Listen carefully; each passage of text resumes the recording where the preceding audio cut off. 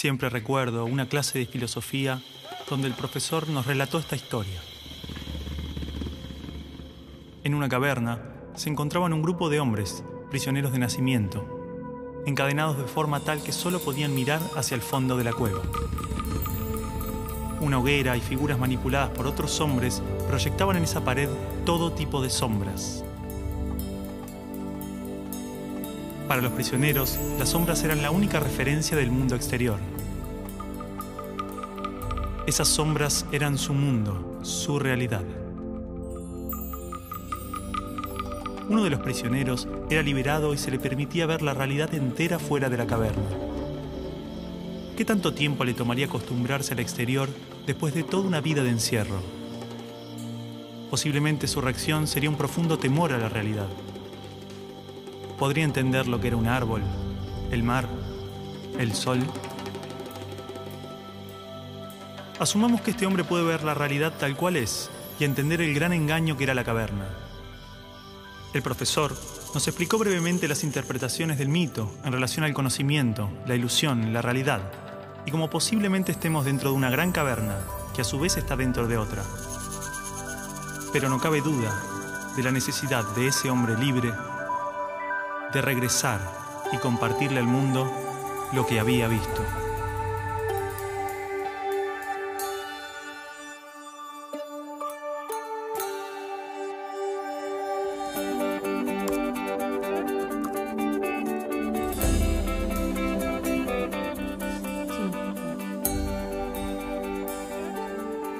Bueno, y es así como en su onceava tesis él llega a la idea de que el filósofo no solo tiene que entender la realidad, sino que tiene que llegar a transformarla.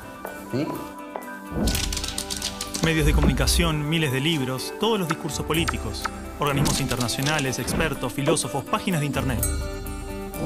Todos coinciden en la importancia de la educación.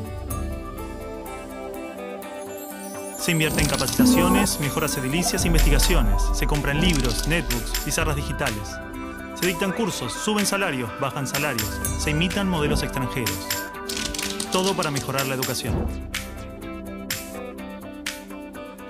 Esto no evita que haya tantas escuelas como realidades sociales. Escuelas marginales, para pobres, escuelas depósito, escuelas para obreros, profesionales, escuelas de clase media, escuelas públicas y privadas, escuelas para ricos, escuelas de la élite. Gran parte pretende incluir y contener a la mayor cantidad de estudiantes, Muchas otras se concentran en formar trabajadores de diferentes jerarquías. Y solo unas pocas se dedican a los supuestos resultados de excelencia. Más allá de sus diferencias, todas trabajan y aspiran a un ideal de escuela común. ¿Hasta qué punto esta escuela ideal nos ayuda a desarrollarnos individual y colectivamente? ¿Realmente este paradigma educativo busca que las personas tengan una buena calidad de vida y trabajen para la mejora de su comunidad? ¿Hay otro tipo de escuela que lo logre? ¿Hay alguna educación pensada con estos ideales? Esto nos llevó a abrir las puertas de un mundo oculto para muchos de nosotros. Esta película es parte de un proceso que posiblemente no tenga fin, una pregunta que seguramente no tenga respuesta, una búsqueda sobre cuál es la naturaleza del aprendizaje y la educación, qué errores cometimos y principalmente qué ideas nos sirven para seguir buscando, seguir aprendiendo.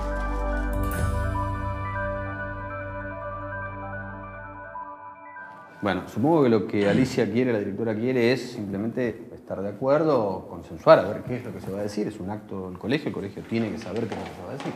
Tal, bueno, y media igual. Javier, ¿en qué quedaron? Bueno, yo les propongo a los chicos, como ejercicio, que escribieran un texto, ¿no? Contándonos cuál era el balance de estos años en la escuela. Y eso es. Muy poco de lo que pasa en nuestra escuela es verdaderamente importante.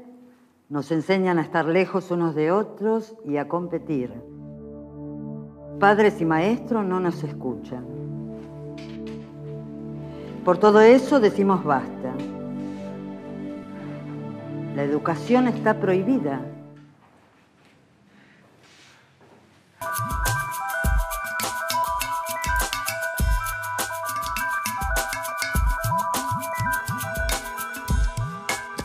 El estudiante no aprende después de 12 años a leer comprensivamente, no aprende las operaciones matemáticas, no aprende, en fin, aprende muy poquito.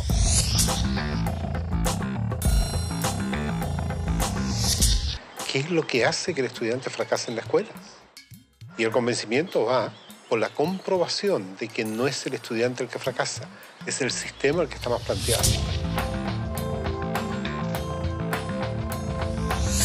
Es que las reformas educacionales actuales en boga en muchas partes están mal enfocadas. Son un arreglo cosmético de lo que nosotros pensamos que debemos mejorar en la escuela. El problema está en el modo como concebimos paradigmáticamente la escuela. Es un problema de concepción básica.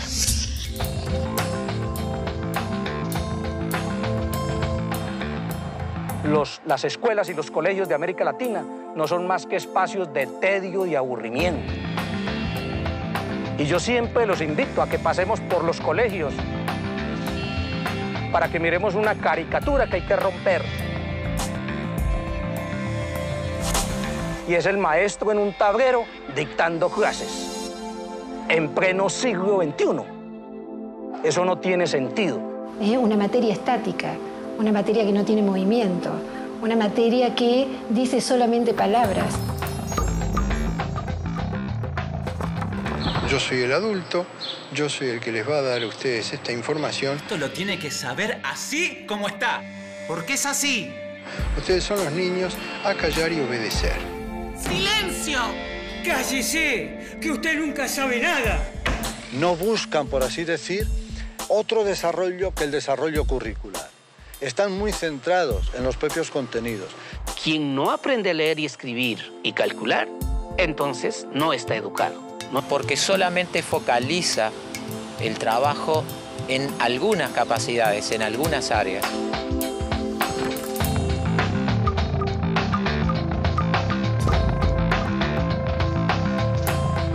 El, el conocimiento actual está parcializado porque la mirada es parcial. Nosotros decimos que en las escuelas convencionales el aprendizaje es preventivo.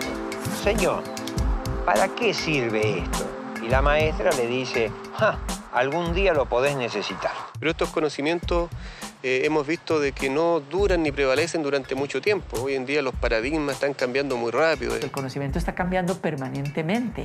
Entonces, lo que ha pasado es que los sistemas educativos no han cambiado tan rápidamente como el resto de la sociedad. Ahí es donde está el problema de fondo.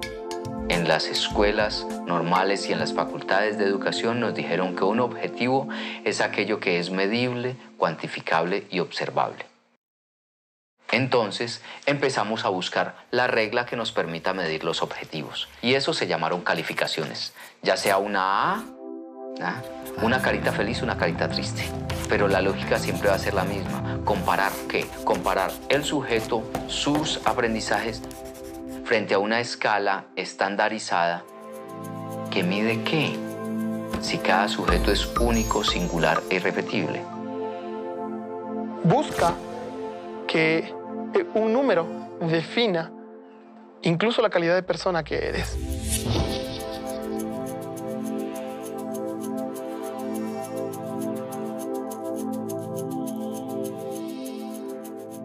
Entonces, por ejemplo, creo conflictos a nivel cognitivo. A ver quién es el primero que realiza, con lo cual unos son ganadores y los otros son perdedores. Cada vez que hay perdedores hay alguien que se siente feo. Era obvio. Se estimula mucho a los chicos a competir entre ellos. Eh, los mejores alumnos tienen reconocimientos, tienen premios. Aquellos niños que no les van bien en los exámenes, eh, se les llama la atención. Cuatro. En muchos casos ni siquiera son tenidos en cuenta. Todo el mundo habla de paz, pero nadie educa para la paz. La gente educa para la competencia y la competencia es el principio de cualquier guerra. En teoría, todas las leyes de educación nos hablan de objetivos de desarrollo humano profundos, valores humanos, cooperación, comunidad, solidaridad, igualdad, libertad, paz, felicidad, y se llenan de palabras hermosas. La realidad es que la estructura básica del sistema promueve justamente los valores opuestos, la competencia, el individualismo, la discriminación, el condicionamiento, la violencia emocional, el materialismo. Cualquier idea que se promueve desde el discurso es incoherente con lo que la estructura sostiene. A ver, a pesar de que la escuela teoriza y discute sobre principios y valores, los discute como contenidos. Si yo vengo de un paradigma fragmentado, donde a mí lo que me interesa es enseñar historia, yo voy a ver cuánto de historia sabe este sujeto después de que yo le hablé de historia y le hice leer un libro de historia. Y para mí ese sujeto terminó. No tiene más nada que ver conmigo. Si ese sujeto sufre o no, viene de buena familia o no, tiene plata o no. Para el maestro tradicional lo más fácil es seguir haciendo lo que ha hecho durante muchos años. ¿Usted quiere ser un mediocre toda su vida? O lo que ha aprendido por tradición. Usted ya no es más un nenito de segundo grado. Entonces el enseñar se convierte simplemente en un proceso de reproducción simbólica. No quiero que huele una mosca. En la Argentina, la inmensa mayoría de los niños en este momento dicen, qué macana, hoy es lunes, tengo que ir otra vez a esa escuela. Pero ese no es el peor de los datos. La inmensa mayoría de los docentes en la Argentina dicen eso mismo. Yo creo que los maestros actuales son hijos de un sistema. No es que el maestro nazca o quiera ser profesor para ser bueno o malo. Es lo que el Estado le permite. ¡Basta! ¡Se quedan sin recreo! Ah, no. No me venga con que tiene problemas en su casa. ¿Cómo hago para educar la emoción de estos niños si en mi terciario de formación docente no me hablaron nunca una palabra de las emociones? Si siguen hablando, los voy a separar, ¿eh?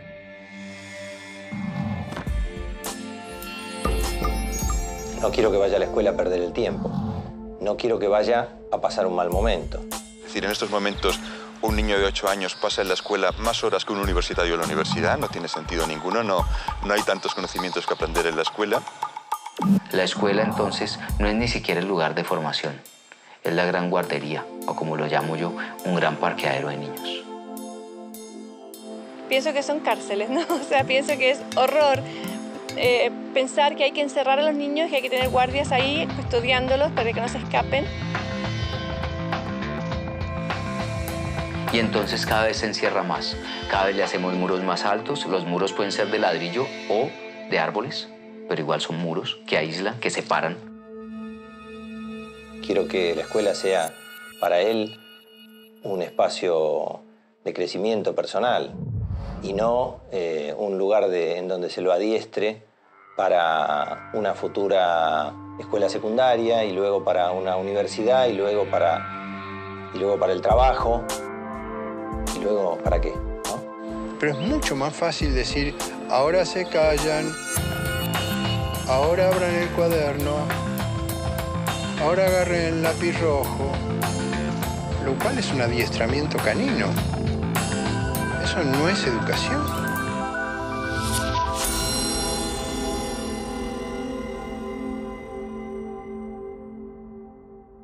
Sí, eh, bueno, en realidad lo que los chicos me dicen es que este texto ellos pensaban leerlo en el acto.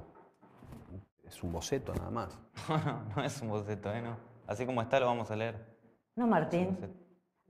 Acá hay palabras muy ofensivas y no pueden estar atacándonos gratuitamente. Bueno, se sienten atacados por algo será o no. Bueno, para un poco. Alicia, nosotros lo único que hicimos fue cumplir una tarea que nos dio el profesor. Por eso, por eso, por eso Alicia digo que es un boceto, los chicos van a suavizar este texto. No lo vamos a suavizar, no lo vamos a suavizar, así como está lo vamos a leer. Martín, No lo vamos a suavizar. no. Martín, esto así como está es una falta de respeto. Perdón, me olvidaba que decir lo que uno piensa es faltar el respeto.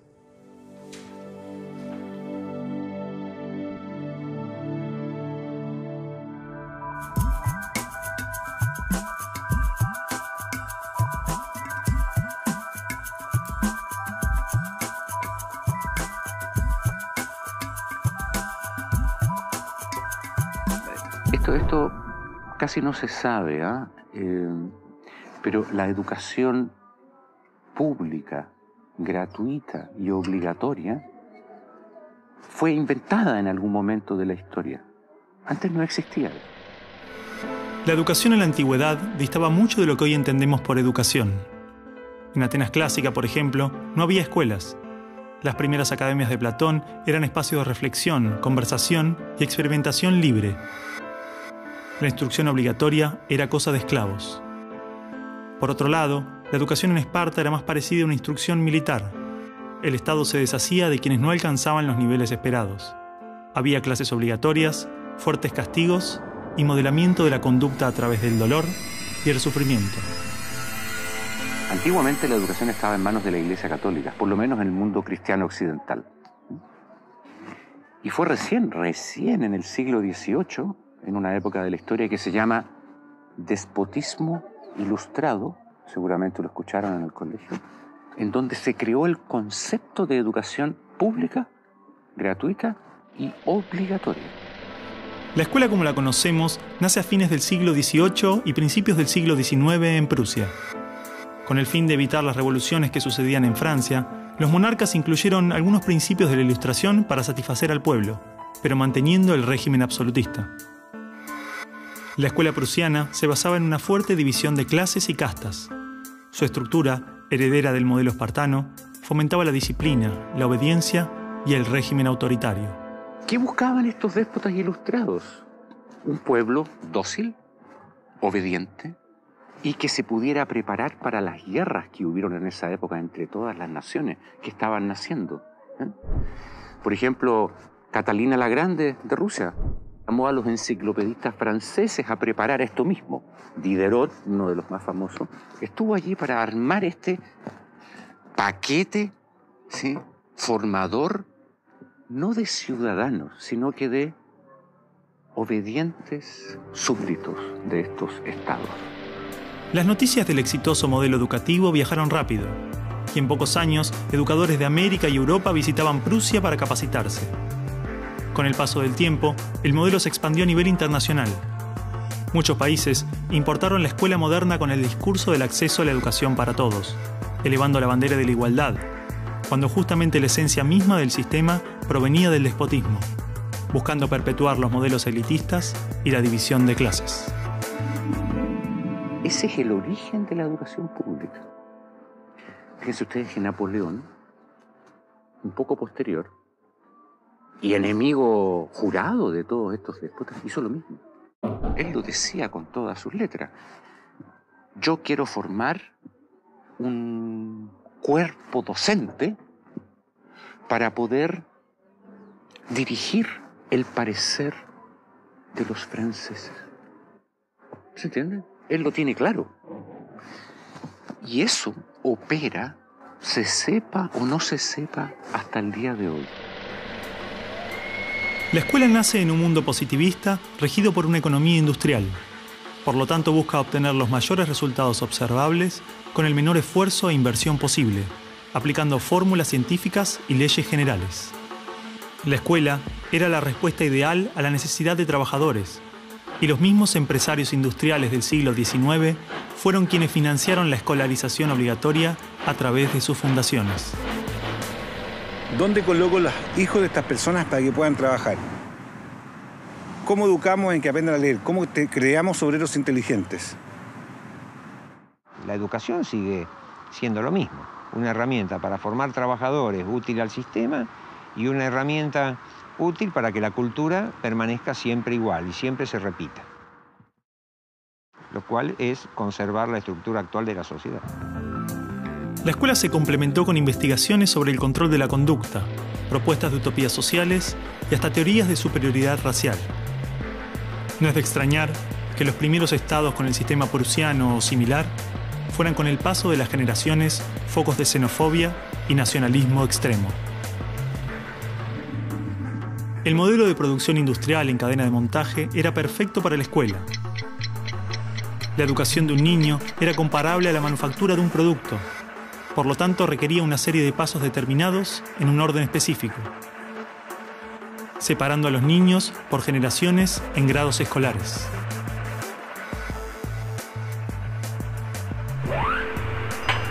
Y en cada una de estas etapas trabajaría sobre determinados elementos, contenidos que asegurarían el éxito, pensados minuciosamente por un experto. Digamos que el maestro es la figura que es la encargada de enseñar una serie de contenidos que tocan, porque alguien ha determinado así, en una edad determinada. Pero la educación no la preparan los biólogos. Y curiosamente muchas veces tampoco son educadores los que la preparan. son administrativos. Son gente que no hace clases. En esta cadena, una persona estaría a cargo de una pequeña parte del proceso, insuficiente como para conocer el mecanismo en su totalidad, ni a las personas en profundidad. Un docente por año, por materia, cada 30 o 40 alumnos, llegando al punto de que el proceso termine siendo meramente mecánico. La educación, como la estamos viendo hoy, es administrativa. Hay alumnos que llegan, profesores que hacen clase, alumnos que se van, profesores que se van y al día siguiente se repite el ciclo. Un profesor estatal es un funcionario en que la autoridad le dice usted tiene que enseñar esto, esto, esto y de esta forma. Porque hay que repetirse a demasiados niños con un profesor de demasiadas horas de clase y con pocas horas de atención de alumnos en forma privada. Entonces va a dirigir siempre a un grupo colectivo. Porque evidentemente si tengo 30 niños, eh, no puedo pretender que todos los 30 niños quieran hacer lo mismo al mismo tiempo. Este sistema de cadena de montaje, que nace con el Taylorismo, fue aplicado tanto en la industria, la escuela y el ejército de diferentes países y culturas de Occidente. Eh, hasta hace pocas décadas la escuela tenía estas cosas de cuartel y de asilo, incluso el recreo termina con un timbre anónimo, no humano, que indica a los niños que eh, deben adiestrarse poco a poco para pararse en una determinada baldosa detrás de determinada cabeza para formar una fila, generalmente menor a mayor. Durante los últimos siglos, hemos construido nuestras escuelas a imagen y semejanza de las prisiones y las fábricas, priorizando el cumplimiento de las reglas, el control social. La escuela se pensó como una fábrica de ciudadanos obedientes, consumistas y eficaces, donde poco a poco las personas se convierten en números, calificaciones y estadísticas. Las exigencias y presiones del sistema terminan deshumanizándonos a todos, porque van más allá de los maestros, directivos o inspectores escolares. Están considerados grupos homogéneos, con contenidos homogéneos que tienen que resultar, obtener resultados parejos. Que todos tenemos que saber lo mismo. A pesar de que los adultos no sabemos todo lo mismo, a pesar de que no nos dedicamos todo a lo mismo, en las escuelas todos tienen que querer hacer lo mismo y hacerlo igualmente bien. Entonces la escuela tiene poca capacidad de responder a las necesidades individuales, porque la escuela instruye. Es un centro de instrucción y es lo que hace. El que no aprende, se queda. Esa es la. Esto de alguna manera ya implica que el sistema educativo es un sistema de exclusión social. Selecciona el tipo de personas que estarán llegando a la universidad para llegar a formar parte de una serie de élite que domina pues, eh, las empresas que dominan los sistemas de producción, económico, de comunicación, etc. Y otro tipo de personas para las cuales la escuela no es suficientemente adecuada, que están destinadas a otro tipo de trabajo más precario porque no dispondrán de los títulos para hacer esto. El sistema y los estados no les preocupa eso. No, honestamente, no les preocupa el ser humano como persona, como individuo. Y en esos términos, toda educación que busque otra cosa tiene que ser prohibida. La realidad es que la esencia de la escuela prusiana está inmersa en la estructura misma de nuestra escuela.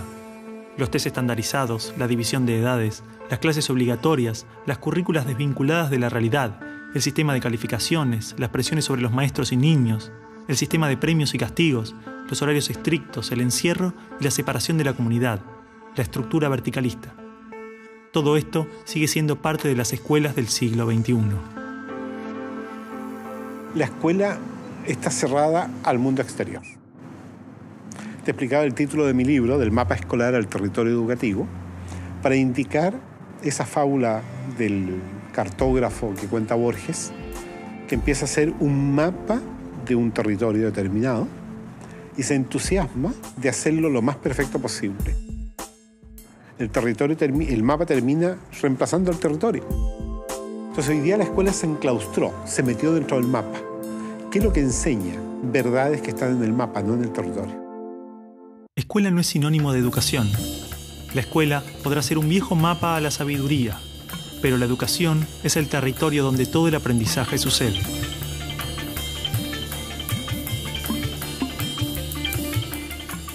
¿Qué es una buena educación? ¿Lograr que la mayor cantidad de niños atraviesen los estándares de calidad? ¿Que obtengan herramientas y conocimientos que no les interesan para superar barreras que otros les imponen? ¿No era el objetivo de la educación lograr una buena calidad de vida? Olvidemos por un momento todo lo que sabemos sobre educación, toda nuestra forma de entender la escuela, todo lo que nos han dicho que debemos aprender en la vida y lo que debemos enseñarle a nuestros hijos. Empezar a ver cada cosa, a revisarla como si nunca la hubiéramos visto. O sea, cada acción, cada actitud, cada, cada costumbre. Si no estuviéramos haciendo las cosas como las estamos haciendo porque siempre las hicimos así, ¿cómo las haríamos hoy? Es como sacudirse la cabeza y decir, bueno, empezamos de nuevo.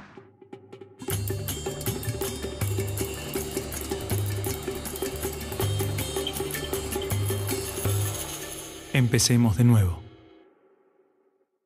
A, ver, chicos, tienen que entender que el discurso que escribieron es algo que le puede molestar a mucha gente. Bueno, está bien, pero si es lo que sentimos y lo escribimos así, ¿por qué no lo podemos leer así? Son nuestras palabras, lo que pensamos. ¿Cuál es el problema ahora? Cargo de lo que escribimos ahí también. Si de última no lo dicen en pará un poco, Martín, porque te conozco. Te molesta todo en esta escuela. Te molesto yo, te molestan los profesores, te conozco bien. No, vos a mí no me conocés. Sí te conozco. No, no me conocés.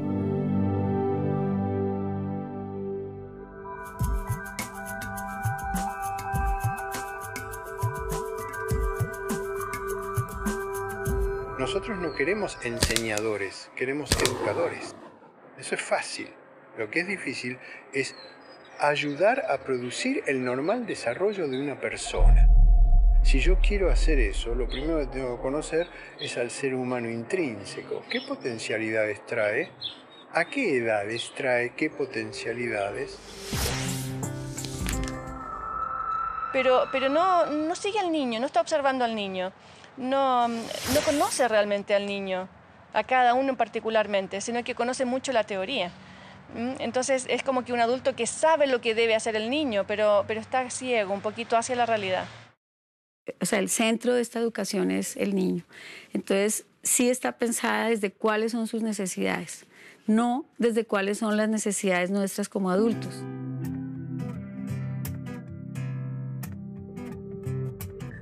Los chicos desde que nacen, nacen con esa capacidad de crear. Son creativos y observadores y curiosos. Y en la escuela pueden pasar dos cosas. Que se acompañe ese proceso y se propicien actividades para desarrollar esa capacidad o se la frustre. De hecho, podríamos caracterizar que el ser humano propende a aprender. Incluso podemos decir más todavía, no es ningún mérito del ser humano aprender. Más todavía, es que no puede no aprender.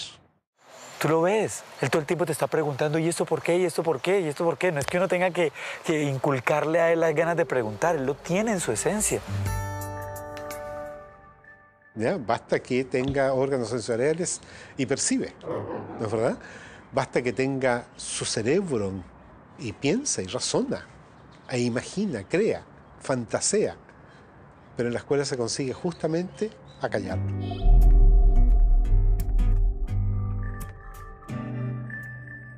De esta manera, si te fijas, cada vez, a medida que van creciendo los niños, van perdiendo su curiosidad y sus ganas de aprender. Un niño de 12 años difícilmente cuando sale de la escuela toma un libro. Son los mínimos los que hacen estos. Porque está harto, está totalmente harto de que se le diga qué debe y qué no debe hacer y ha perdido toda curiosidad por aprender. La mente del niño tiene cualidades de aprendizaje cualitativamente superiores a las de un adulto, porque está naturalmente desarrollado para percibir lo que se le presenta, y con ello crea su mente, se construye a sí mismo. En pocos años aprende a controlar su cuerpo, puede comunicarse en varios idiomas, comprende las reglas de la naturaleza y las características de su cultura. Todo este complejo y maravilloso proceso se da de manera inconsciente, lo aprende sin demasiado esfuerzo, por cuenta propia.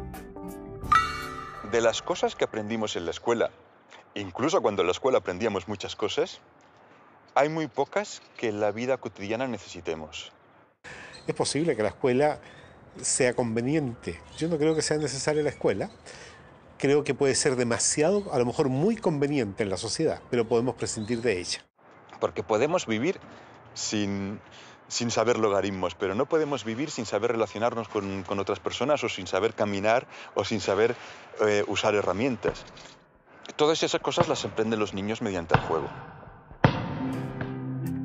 Los niños desde que nacen tienen la habilidad de construirse a sí mismos, aprendiendo de lo que se encuentra a su alrededor, a través de jugar y explorar el mundo. Los niños absorben cultura, los niños vienen a tomar la cultura de los padres y eso se ve incluso en el lenguaje. Está en el contexto cultural humano mm, los números y las letras y las palabras, entonces ellos lo aprenden pues como, igual que aprenden a andar porque hay unos adultos que andan. Es decir, cuando un ser humano nace, su biología no lo obliga a ser humano. Necesita nacer en un entorno humano. Todo lo que nos rodea influye tremendamente en nuestro aprendizaje. Los espacios, los tiempos, las actitudes de nuestra familia, las emociones, los gustos, las creencias. Todo es parte de ese ambiente con el que nos construimos a nosotros mismos. La pregunta es entonces, ¿qué ambiente estamos ofreciendo a los niños para que los adultos se desarrollen de esta manera? Porque un niño entra y entra es a un medio dogmático, siéntese acá, quédese seis o siete horas sentado en esta fila. ¡Qué horrible! Si, en, si estamos en una familia donde los esa red de afectos es supremamente débil, los niveles de agresión son muy altos, de violencia, el chico va a ser un chico probablemente muy violento. No va a ser seguramente violento, no estoy diciendo eso, pero sí estamos hablando que en contextos violentos la violencia se reproduce más fácilmente. El niño va, va a dar lo que recibe, ¿no? Entonces por eso tenemos que lograr relaciones mucho más amorosas, mucho más profundas en el aula. Estudios indican que actualmente a la edad de 5 años, el 98% de los niños podría ser considerado genio. Son curiosos, creativos y tienen la habilidad de pensar de formas diversas, resolver problemas, es decir, tienen la mente abierta. El problema es que 15 años más tarde, solo el 10% de esos niños mantiene estas capacidades. O sea, de alguna forma estoy diciendo que desde más allá de la mente, desde el mundo de la conciencia, todos somos genios. Y realmente el maestro lo que tiene que aprender es a que sus alumnos puedan abrir las puertas en su mente para que desciendan todo ese conocimiento y esa creatividad y esa genialidad que todos llevamos dentro. Si nosotros miramos a los grandes hombres de la humanidad y mujeres de la humanidad, todos han sido grandes eh, soñadores, es decir, que han tenido una imaginación enorme. Como seres humanos, somos el resultado de miles de años de adaptación natural y evolución. Traemos dentro aquellas características que nos han permitido sobrevivir, transformarnos y crecer. Desde las ganas de comer cuando tenemos hambre hasta la curiosidad interna del niño de explorar el mundo. Este potencial está esperando que le permitamos manifestarse. En los niños lo vemos en el juego espontáneo, en los adolescentes de hoy a través de la rebeldía y la necesidad de transformar la realidad. ¿Por qué insistimos en matar su espontaneidad y castigar su rebeldía, cuando son estas las características que manifiestan sus necesidades humanas internas buscando desarrollarse? El niño tiene un maestro interior, sobre todo en las primeras edades, que le impulsa al aprendizaje, que le impulsa al descubrimiento, que le impulsa al movimiento, que le impulsa a participar, a trabajar, a repetir comportamientos, que le impulsa a decidir cuándo quiere dejar de repetir algo porque lo tiene superado. Observando cómo actúan los niños. Descubrimos que usan todos los criterios de un investigador connotado, exactamente los mismos. Por supuesto que hay distintos niveles de complejidad, ¿no es cierto? Pero no hay niño que no sea sistemático en la observación. No hay niñita pequeña que esté observando que no genere experimentos. ¿Cómo podemos hacer para que sean más creativos? Ellos ya lo son. Lo único que tenemos que hacer es ofrecerles las posibilidades para que la puedan expresar de diferentes maneras. Si siguen haciéndolo, mañana van a ser científicos, mañana van a ser artistas. Hay que dejarlos. Dale, Martín, no, hace falta. A ver, ¿qué ganas con esto? Ellos plantean el tema de las notas, por ejemplo. Dicen que lo único que nos importa es la nota final, que no nos importa si estudian, no estudian, si aprenden o no aprenden. Basta, ya está. ¿Qué gano me saco las ganas de eso? No, y que además los estamos, de alguna manera, haciendo competir entre ellos por esa nota. ¿Vos pensás así también? Mira, creo que no, no es un planteo tan equivocado, tan errado. Evidentemente, algo de la estructura de la escuela no les hace bien. Mira, Javier, yo creo que lo que les hace mal a los chicos es la sociedad. Y con la sociedad que tenemos, lo mejor que le puede pasar es venir a la escuela, ¿no te Sí, parece? Está bien, pero digo, esto es bastante fuerte. No, ya Disculpe. sé, pero Acá está todo lo que aprendí en cinco años de colegio. ¿Saben qué va a pasar con esto? Me lo voy a olvidar todo. Es más, ya me lo olvidé.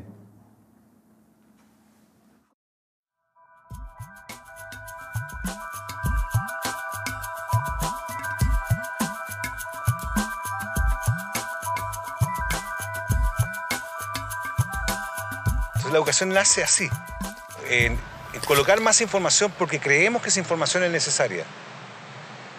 La pregunta que yo hago es, ¿cuánto nos acordamos nosotros de lo que nos enseñaron en la ciencia básica, por ejemplo? ¿Cuánto nos acordamos de los contenidos enseñados en ciencia media? Es que la manera en que usted lo introduce no motiva a nadie.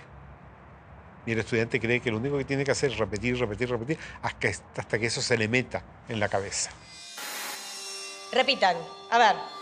Actinio, AC, 3, mental. Actinio, AC, 3, mental. A ver. Cuando yo repito, cuando yo repito, algo que me dicen que tengo que repetir, simplemente me transformo en un repetidor. Ácido desoxirribonucleico. Ácido desoxirribonucleico. Ácido desoxirribonucleico. Comprenda o no comprenda, no interesa, porque lo que importa es que yo diga de la misma manera lo que está dicho. Ribonucleico. Ácido desoxirribonucleico. Ácido desoxirribonucleico. Si yo le exijo a un niño más de lo que él puede dar, empiezo a generar estrés en este niño.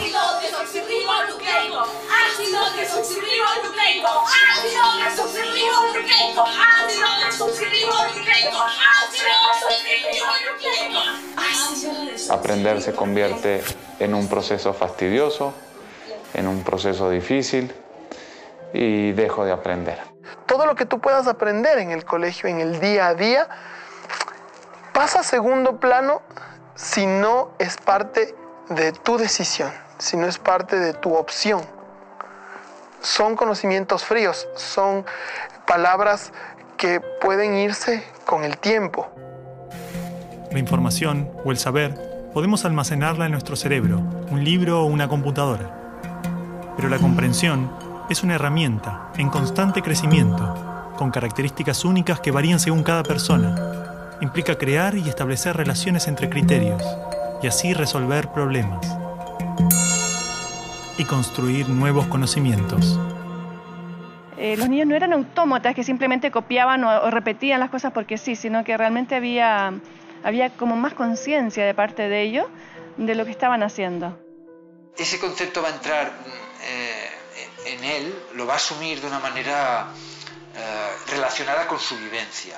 Si no se disfruta de- del aprendizaje, no hay auténtico aprendizaje. Y sobre todo, la genialidad que cada alumno lleva dentro no puede descender y no puede enriquecer al resto de la clase ni al propio maestro. El aprendizaje profundo solo puede estar fundado en el interés, la voluntad, la curiosidad, y se origina más allá de las fronteras de la razón. Es mucho más que analizar o relacionar conceptos. Aprender implica un profundo proceso, donde se crean relaciones entre la persona y su entorno. Porque es que hay un principio también que maneja la neurociencia. Lo que más le gusta al cerebro humano es conocer, pero cuando conoce con dicha, goza y placer, que es el aspecto de la lúdica. Hemos partido del cerebro emocional para ir al cerebro lógico. Y esa lógica es válida, es buena, es más compleja. Hay algo maravilloso en ver el momento del descubrimiento, que es el momento del aprendizaje. Ese chico no se olvida nunca más de cuando llegó a, entender el porqué. Antiguamente el conocimiento solo podía encontrarse en bibliotecas o universidades. tener acceso era vital para el aprendizaje. Hoy, el libre acceso a la información, las bibliotecas virtuales, la construcción colectiva del conocimiento, logran que no solo el conocimiento esté al alcance de todos, de forma abierta y plural, sino que se actualiza constantemente. Lo, que nosotros podamos aprender en la escuela hoy, eh, dentro de cuatro años, a lo mejor cuando el chico salga de la escuela, ya va a estar completamente desactualizado. La educación, al escolarizarse, se metió dentro de la escuela y perdimos los criterios exteriores de la naturaleza. Hoy día leemos los criterios que salen en los libros. Y el problema es que como son muchos de ellos verdaderos, ¿para qué me voy a poner a discutirlo? Pero con eso desvirtuamos lo que es el proceso educativo, que es de descubrimiento, no de aprendizaje de las verdades. Ya no va a bajar las cosas como verdades, las va a presentar y al mismo tiempo va a estar dispuesto a, a, a, dudar de ellas y a revisarlas juntos, ¿no?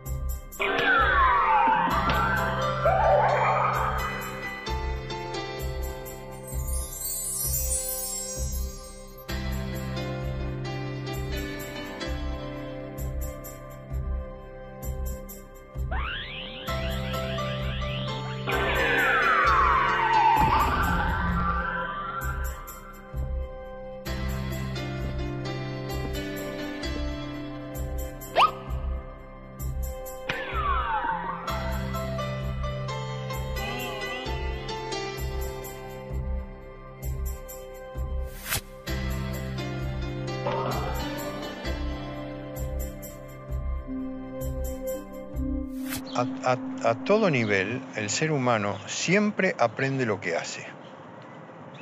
Tiene que esforzarse para aprender lo que no hace. Primero fue la acción y luego viene lo cognitivo. ¿sí? Y a veces nosotros miramos lo motriz como algo peyorativo y resulta que la motricidad está muy ligada a la parte cognitiva. Es decir, el juego es un reto a lo desconocido, un reto a lo que puede suceder. Porque cuando un niño juega o se pone enfrente a esto, pues parte del principio de que pone un algo en movimiento. En la educación siempre estamos poniendo en movimiento. A la casa del tío escuela, digo yo, venimos a aprender, eso obvio, no venimos a jugar y nada más. Pero jugando, jugando se aprende mucho.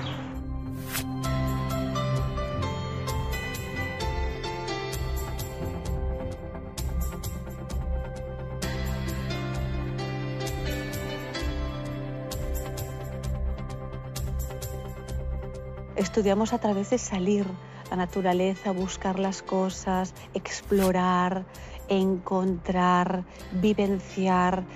Cuando tú trabajas y conectas con la naturaleza a los niños, todo sale.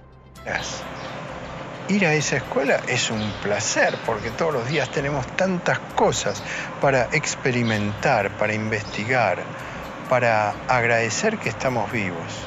La tarea del educador entonces consistirá en todo momento mostrar misterios, mostrar situaciones en la naturaleza que, aunque estén descritas ya por la ciencia, no lo están para el educando. De tal manera que el educando se sorprenda frente a algo y trate de encontrarle una explicación. Se ha generado todo un movimiento de décadas llamado escuela activa, donde el niño hace, produce, sale del banco. Pero esto no es nuevo, esto lo escribió Piaget en los años 50. No se pone en práctica porque da fiaca. A principios del siglo XX surgieron variados movimientos en la pedagogía. Exponentes de diversas partes del mundo desarrollaron experiencias educativas concentradas en la acción, la libertad del niño y la construcción autónoma del aprendizaje, replanteando toda la estructura de la escuela tradicional. Pero a mediados del siglo, todas estas ideas transformadoras comienzan a caer en el olvido con el miedo a los estados totalitarios. Bueno, el método está centrado en que el niño es el que aprende, totalmente. Eh, tienen que haber, necesariamente tienen que haber objetos físicos, objetos concretos con los que el niño manipule, que el niño experimente. Todo en la primaria es operativo. Todo es operativo, todo es con material concreto. El niño en la medida en que se equivoca se va a ir dando cuenta, porque el material mismo es autocorrector. Eh, y normalmente el adulto no es el que debiera estar corrigiendo al niño, es el mismo niño el que tiene que estar corrigiéndose a sí mismo. Ahora, también existe mucho la corrección de parte de otros niños. Yo creo que desde el punto de vista educativo son bienvenidos los errores y las equivocaciones. De hecho, la ciencia tiene más errores y equivocaciones que aciertos. Es verdad que avanza, sabemos nosotros que puede avanzar cuando hay un acierto, pero los errores son los que permiten que los científicos puedan avanzar. Viendo a los niños cuando dicen, no importa si yo me equivoco, porque estoy aprendiendo, porque nadie tiene que ganar aquí, sino todos estamos para mejorar. El inventor de la bombilla eléctrica tuvo más de mil intentos fallidos antes de hacer funcionar la bombilla.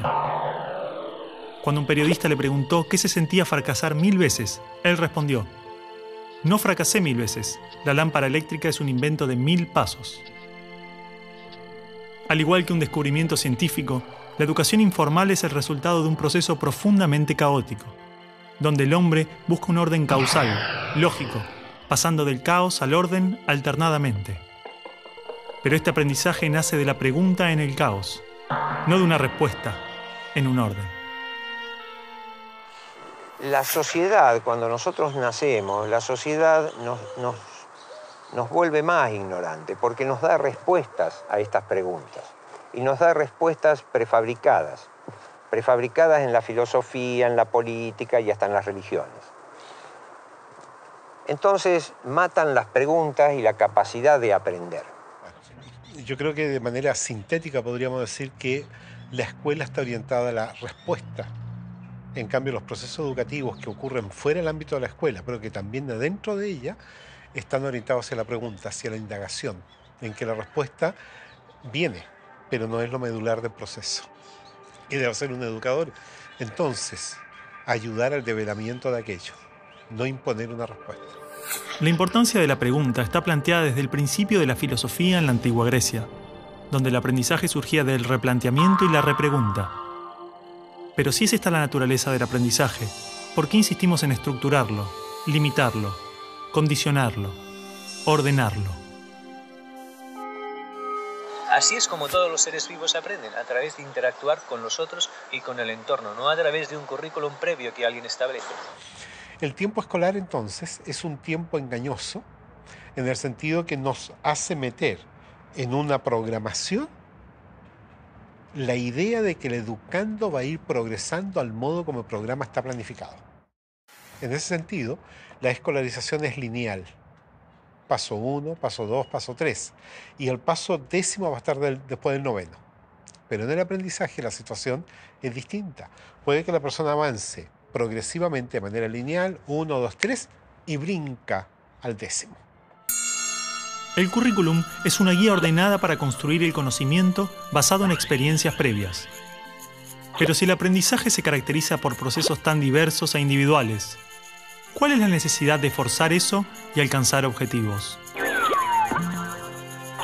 Normalmente los objetivos educacionales en el mundo son colocados desde fuera del alumno, del niño.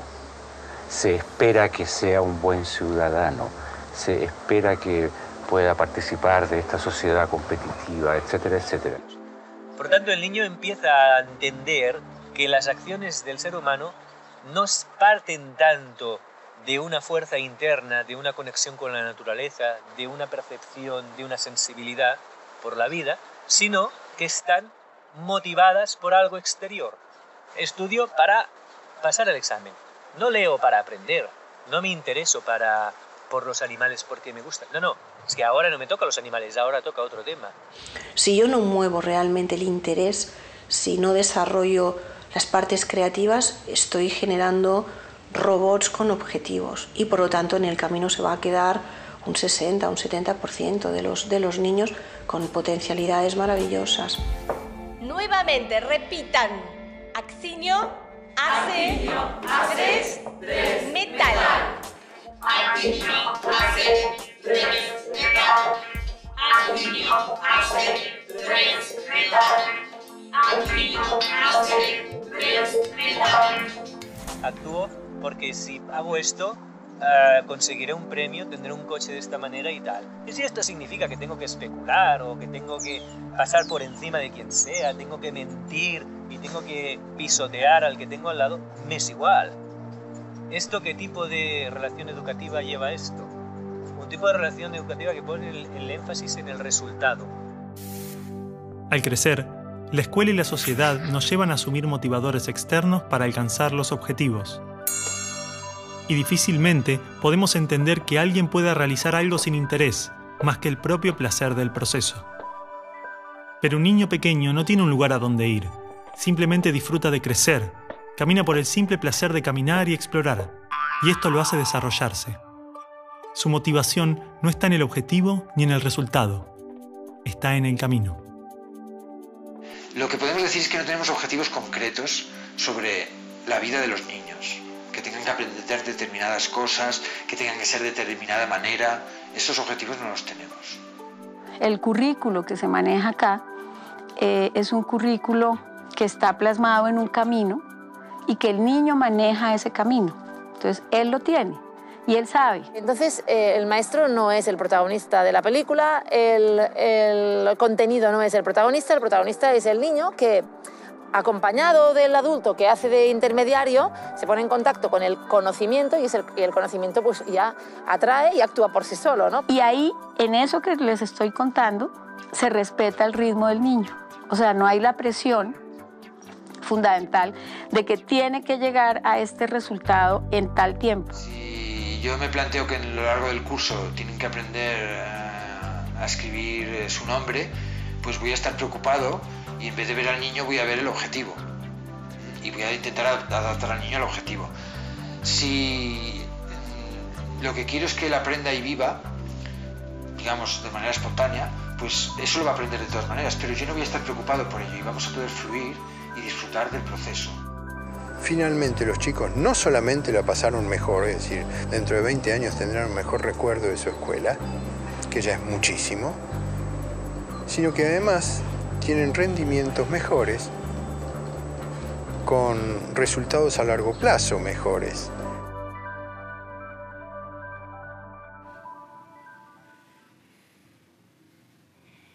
A ver, Micaela, ¿por qué insistís con el discurso ese? Porque quise expresarme, poner lo que pienso, lo que siento. Mi ¿Cómo que- amor, todos queremos hacer lo que sentimos. Y muchas veces nos toca hacer cosas que no nos gustan. No, disculpame, pero yo no opino igual que vos. Bueno, yo te entiendo. pero Escúchame, Micaela, ¿no querés recibirte, tener un título, una profesión, ser alguien en la vida? Pero yo ya soy alguien en la vida.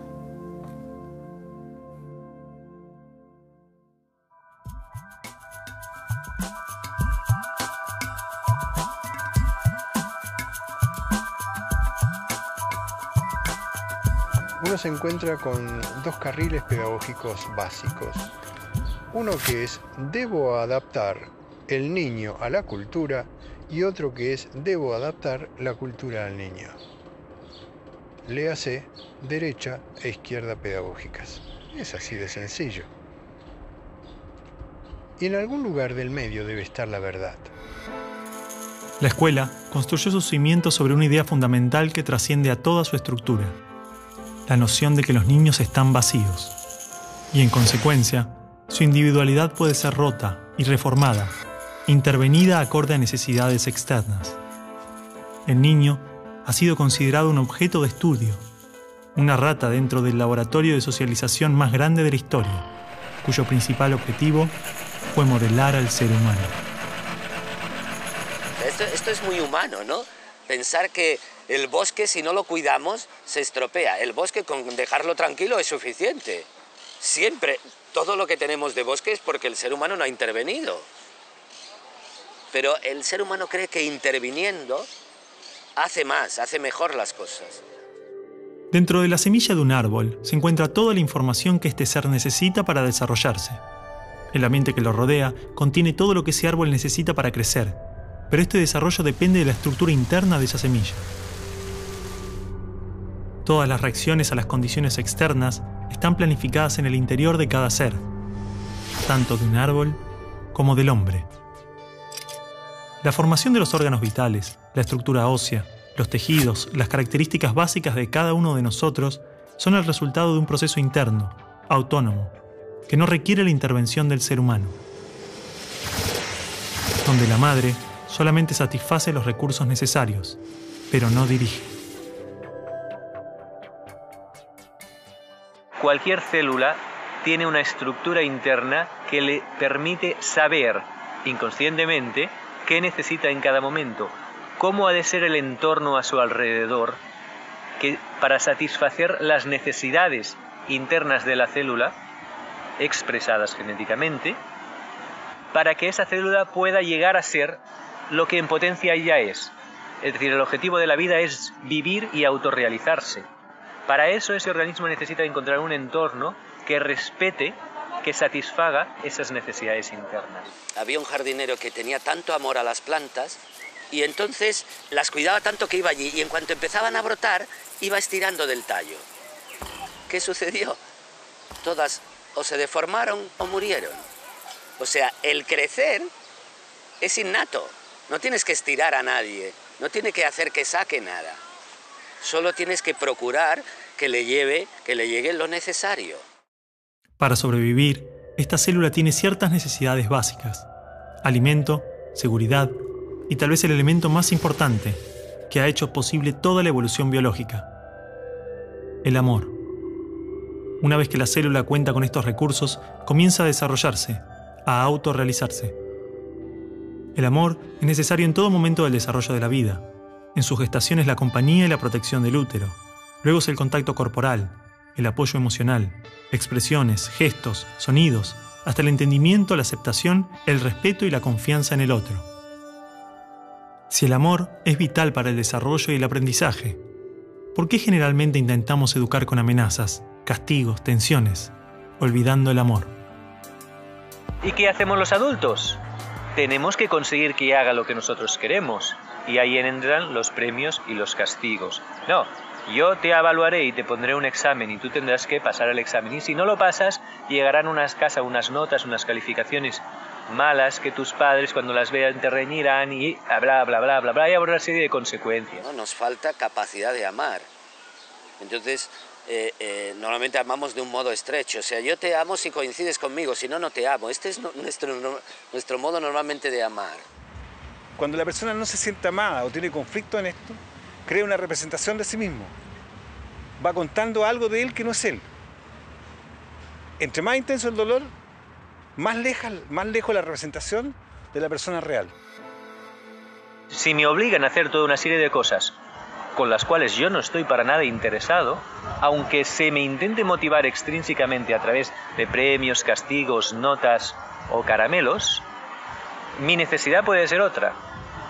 Pero esta necesidad yo no la puedo atender porque se me está obligando a hacer otra cosa. Con lo cual yo voy perdiendo cada vez la conexión con mis propios recursos, con mi propia fuerza vital.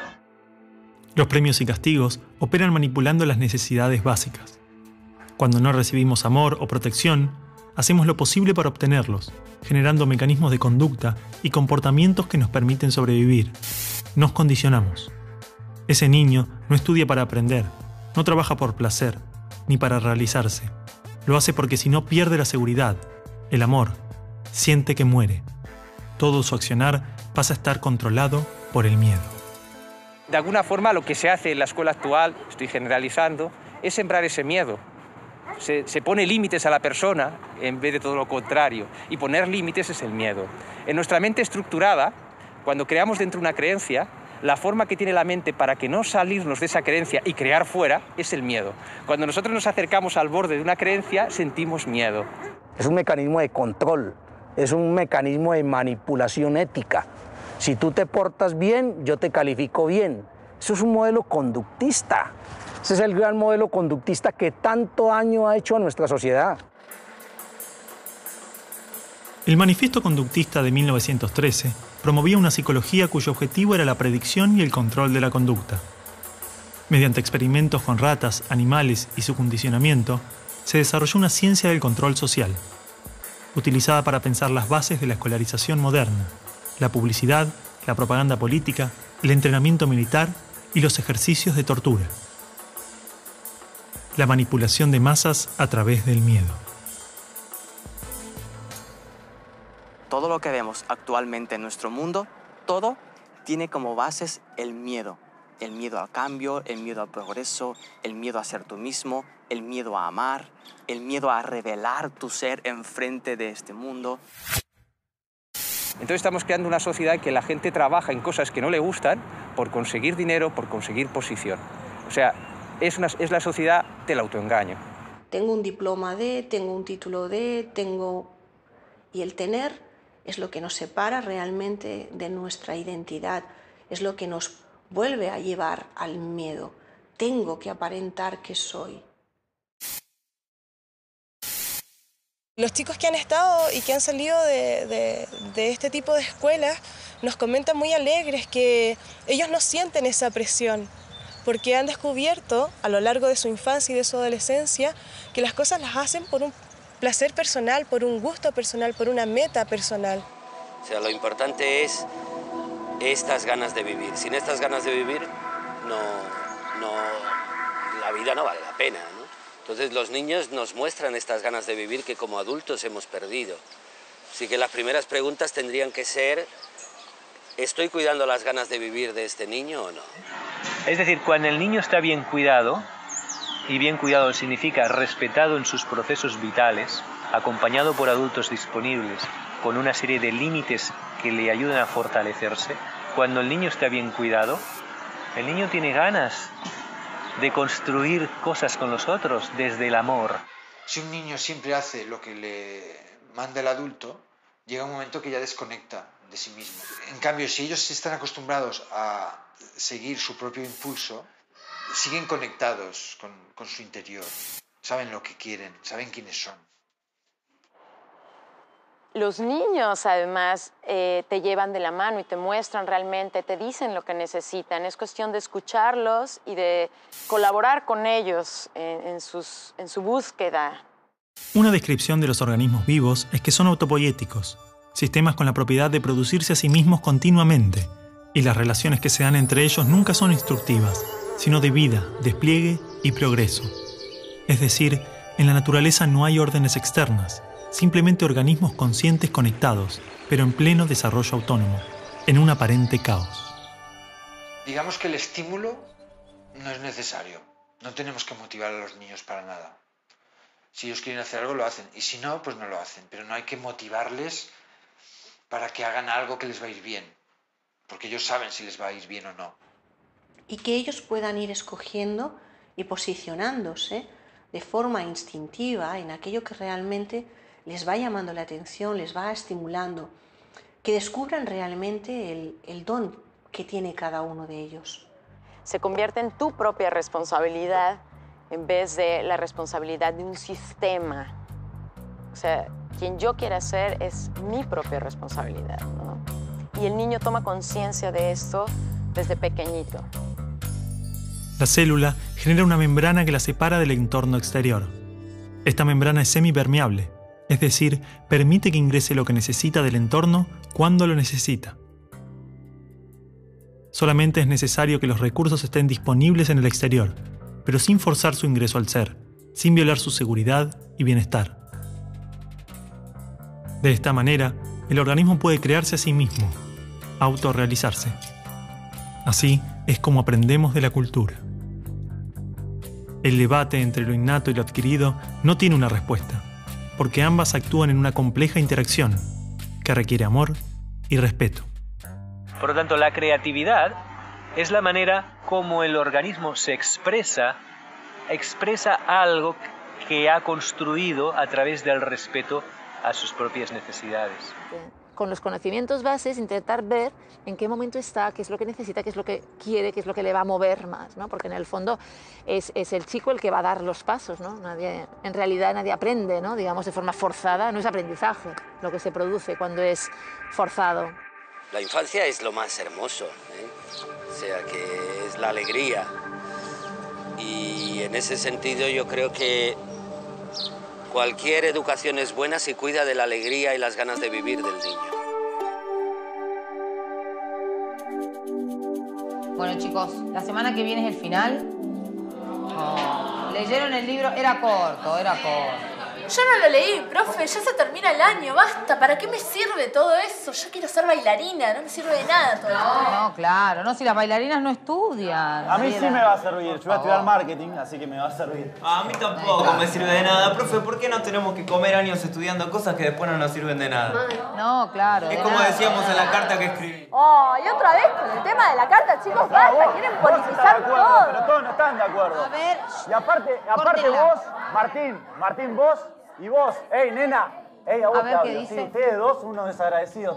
Porque los profesores se esfuerzan para que les quede algo y a ustedes les da igual. Ey, ey, córtenla, corte, Mariela, basta. Escuchame una cosa. A ver, shh, cállense. A ver, Martín, explícame lo de la carta. Vos, Micaela, también. Hablaban en nombre de todos sus compañeros. Lo terrible que era.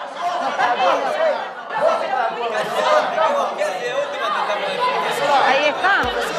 ¿Qué querés, Juan? No, faltan 10 minutos. Sentate, sigamos.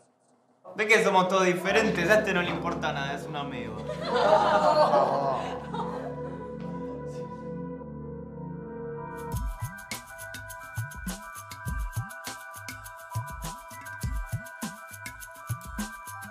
¿Por qué es necesario que los niños estén agrupados por edades? Porque hay un implícito detrás de esto. El implícito es que los niños de la misma edad tienen las mismas afinidades, tienen ah, las mismas capacidades, tienen, eh, son iguales.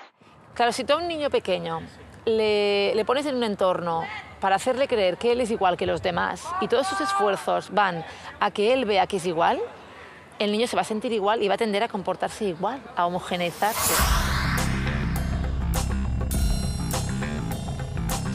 Este niño habla demasiado, tendría que ser más silencioso. Este niño habla poco, tendría que ser más hablador. Este niño eh, juega poco, tendría que jugar más. Este niño es muy movido, tendría que estarse más quieto. Haga lo que haga, parece que esté mal, que tiene que acabar siendo el niño estándar que, hace exactamente la mitad de todo. Somos iguales como individuos en tanto biológicamente somos una especie, pero social y culturalmente somos diferentes. Y eso no lo ha podido entender la escuela. Tienen ritmos de aprendizaje diferentes, tienen intereses y motivaciones diferentes, tienen maneras de relacionarse diferentes. ¿no? Garner ah, ya hace unos cuantos años definió que un- una persona no tiene solamente una inteligencia lingüística, ah, verbal o lógico-matemática, sino que tiene inteligencias muy diversas, entre ellas también todo, todo lo que hace referencia a lo emocional. La diversidad, de alguna forma, es precisamente nos está diciendo que todos somos originales. Somos originales como individuos y somos originales como culturas y como sociedad. el valorar eso en cada uno y que cada niño sienta que las diferencias que tienen con los demás eh, son lo que justamente hace más rica la vida. ¿Cómo logramos que se valore esta diversidad si ni siquiera la entendemos como adultos? Que tengamos igualdad de derechos no necesariamente implica que debamos hacer lo mismo. Hoy en día, muchos niños con intereses y comportamientos diferentes a lo esperado son diagnosticados con condiciones psiquiátricas. ¿Qué nos asegura que no estamos confundiendo la diversidad en los niños con enfermedades? Es una, auténtica epidemia, una moda. En, en algunas zonas ya hay como un 10% de niños en las escuelas tomando psicofármacos para, para su supuesta hiperactividad. La hiperactividad no está demostrada que neuro- neurológicamente exista ni que sea siquiera una enfermedad, porque cumples unos ah, criterios de diagnóstico y entonces alguien decide que tú eres un hiperactivo, que tú eres un superdotado, ¿no? que estás dentro del de, el límite de la normalidad aceptada para considerarte inteligente. Una de dos. O los niños ahora son mucho más hiperactivos que antes, cosa que me cuesta querer, pero que si fuera así tendríamos que preguntarnos cuál es la causa de ese problema y qué, qué hemos hecho para, para que estén los niños así. O bien los niños son igual que antes y entonces ¿qué hemos hecho que ya no los aguantamos? Genio, ¿puedo ir a buscar tiza? Te dije que no. Señorita, ¿puedo ir al baño? Espera el recreo, no. Cuando etiquetamos a un niño de hiperactivo, todo el entorno se posiciona con el niño intentándolo frenar, intentándolo calmar, intentándolo tranquilizar. Con eso lo único que haces es poner nervioso al niño. Por lo tanto, te das cuenta que realmente cuando nos etiquetan, nos encasillan y nos cortan realmente las alas de ser personas y de sacar nuestro máximo potencial. Tradicionalmente, el test de coeficiente intelectual es utilizado para medir la inteligencia de forma lineal. De la misma forma, los exámenes miden el rendimiento en algunas condiciones. Pero estas formas de evaluar no contemplan decenas de variables que influyen tanto o más en el desarrollo y son vitales para la educación. El ser humano es un todo y requiere una visión global, una educación integral, holística. La inteligencia holística plantea de que es posible eh, desarrollar un tipo de inteligencia unificadora, porque el, el holismo no es otra cosa que la visión del todo. O sea, tener un equilibrio entre lo que nosotros llamamos cabeza, corazón y manos, para nosotros eso es poder desarrollar un ser humano equilibrado, digamos. Y en última seguimos en la educación con lo mismo, fragmentando los espacios, aquí enseñamos ciencias, aquí enseñamos sociales, entonces eso no es educación integral.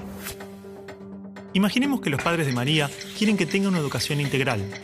Entonces la envían a un colegio trilingüe, donde tiene todo tipo de deportes, más de 10 asignaturas académicas, sala de informática, laboratorio.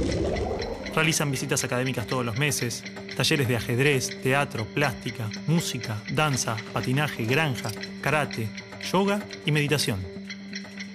Tanto dentro como fuera de la escuela, la educación integral no tiene relación con la cantidad de recursos o materias, sino con un enfoque global. Porque funciona también con áreas integradas, no segmentadas como en la educación tradicional, en donde solo piensan en español o solo piensan en matemáticas, sino las matemáticas son historia y son lenguaje y son geografía al mismo tiempo.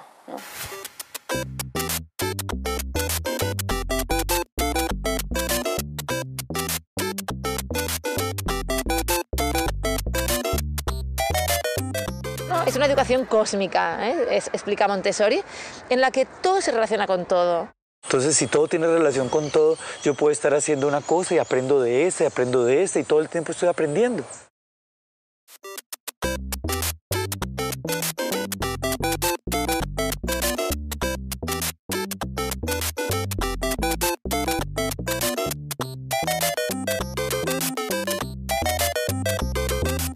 Y lo que entonces teníamos que hacer era permitir que los niños tuvieran contacto con distintas experiencias. La escuela tiene que ser un banco de experimentación, un banco de, de una apertura de posibilidades totales. Experiencias científicas, artísticas, humanísticas, de distinto tipo. Y ver si esto les despertaba algo. Así no hay un recorrido único. No hay un camino único como, como que no hay un chico igual al otro. Si queremos que los niños sean creativos, tenemos, por un lado, que permitirles crear, que dejar que tengan actividades eh, en las que puedan eh, actuar de forma espontánea.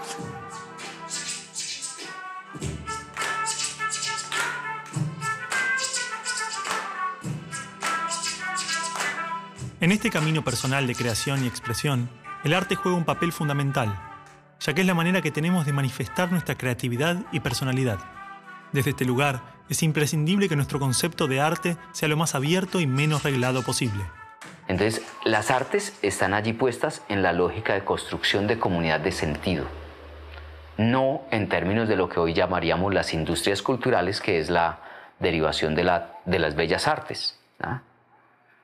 Entonces, allí estamos parados nosotros en las artes populares. Creamos con la pintura, la música, pero también la danza, el teatro, el diseño, la construcción, el relato, la escultura, la literatura, el humor, el juego.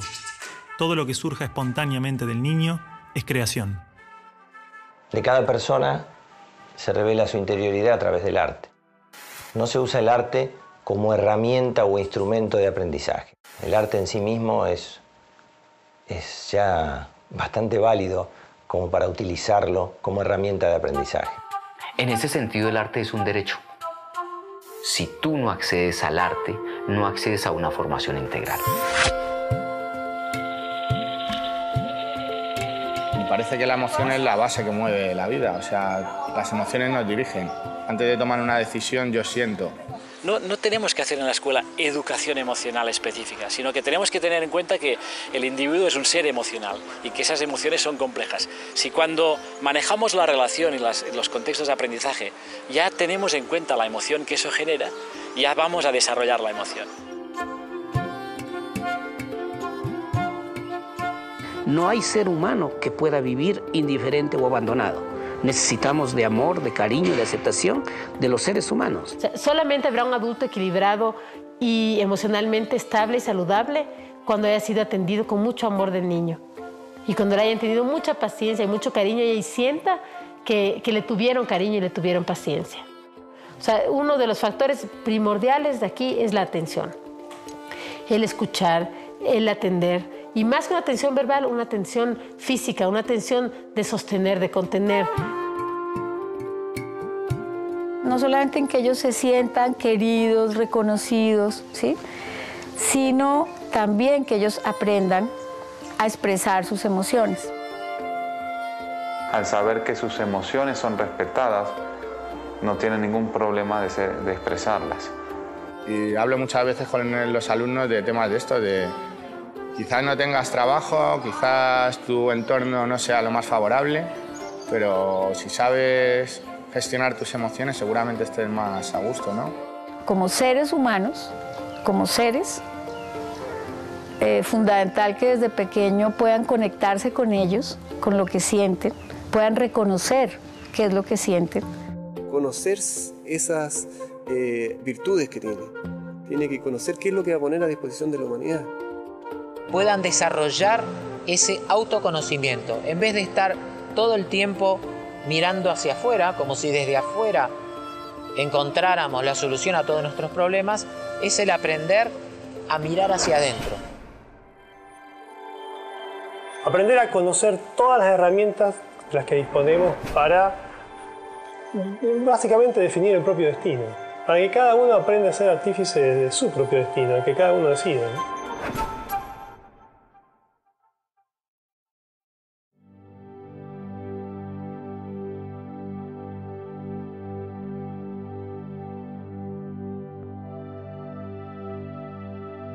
No queremos que te vayas en estos términos de la escuela. Yo tampoco me quiero en estos términos de la escuela, pero el discurso lo vamos a leer igual. Querido, dentro de poco vas a estar afuera, vas a tener que elegir una profesión, tomar decisiones, ser responsable. No puedes seguir jugando como un nene. Está bien, está bien. Perfecto. ¿Y cuándo ustedes me enseñaron a elegir?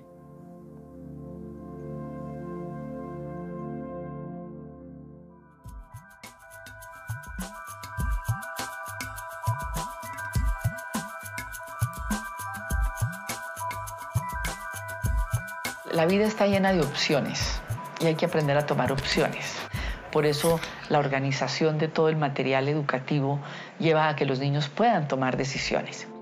Un ambiente que respete sus necesidades, que se pueda mover, que tenga una serie de materiales, que pueda descubrir, que pueda tocar, que pueda seguir sus propios impulsos, sin nadie que le pretenda enseñar.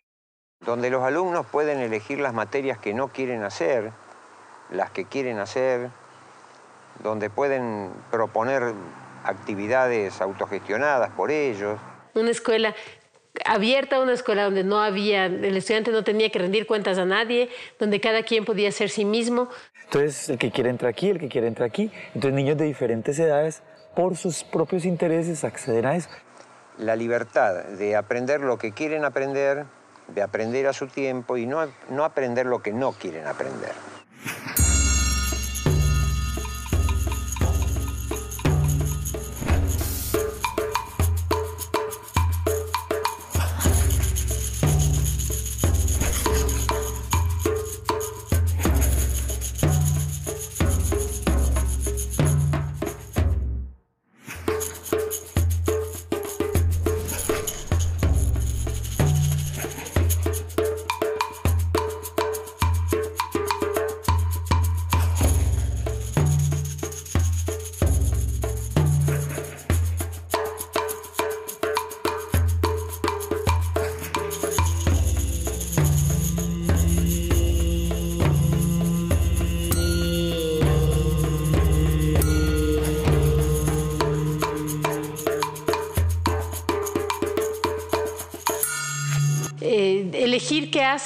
Le va a ayudar a, a darse cuenta qué más necesita elegir.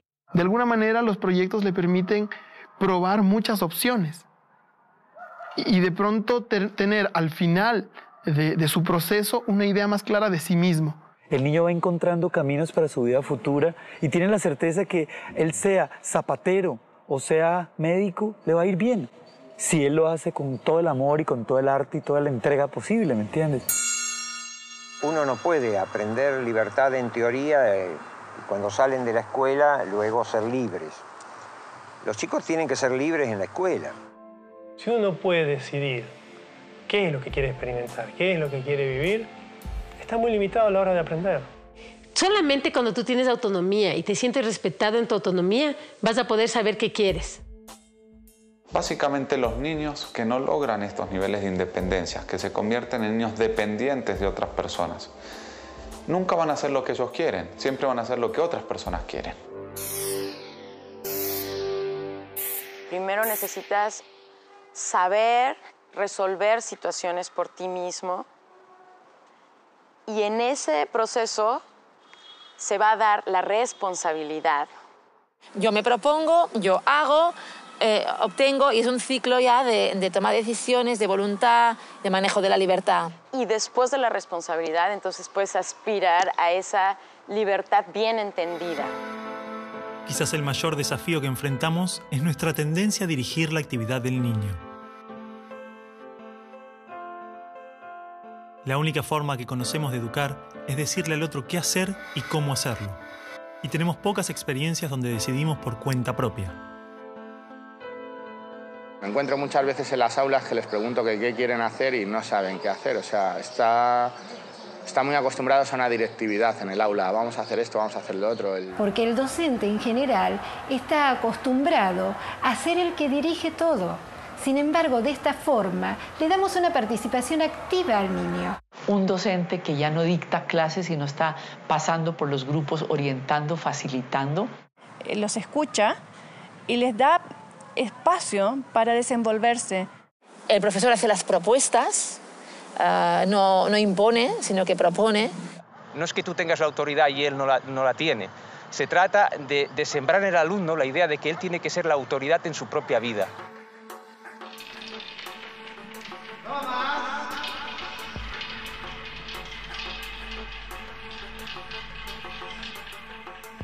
Un 3, Romero. Nosotros creemos que las notas son totalmente subjetivas e imperfectas. Primero porque no hay un docente que evalúe igual a otro. Ante cada trabajo es el niño el que tendría que evaluar cómo se siente con ese trabajo. Si está satisfecho, si le parece que podría haberlo mejorado más.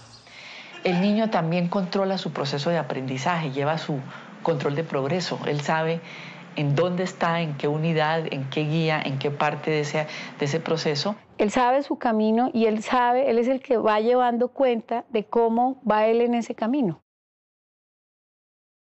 Ellos deciden, ellos eligen a qué edad pasar, ellos eligen cuando están listos.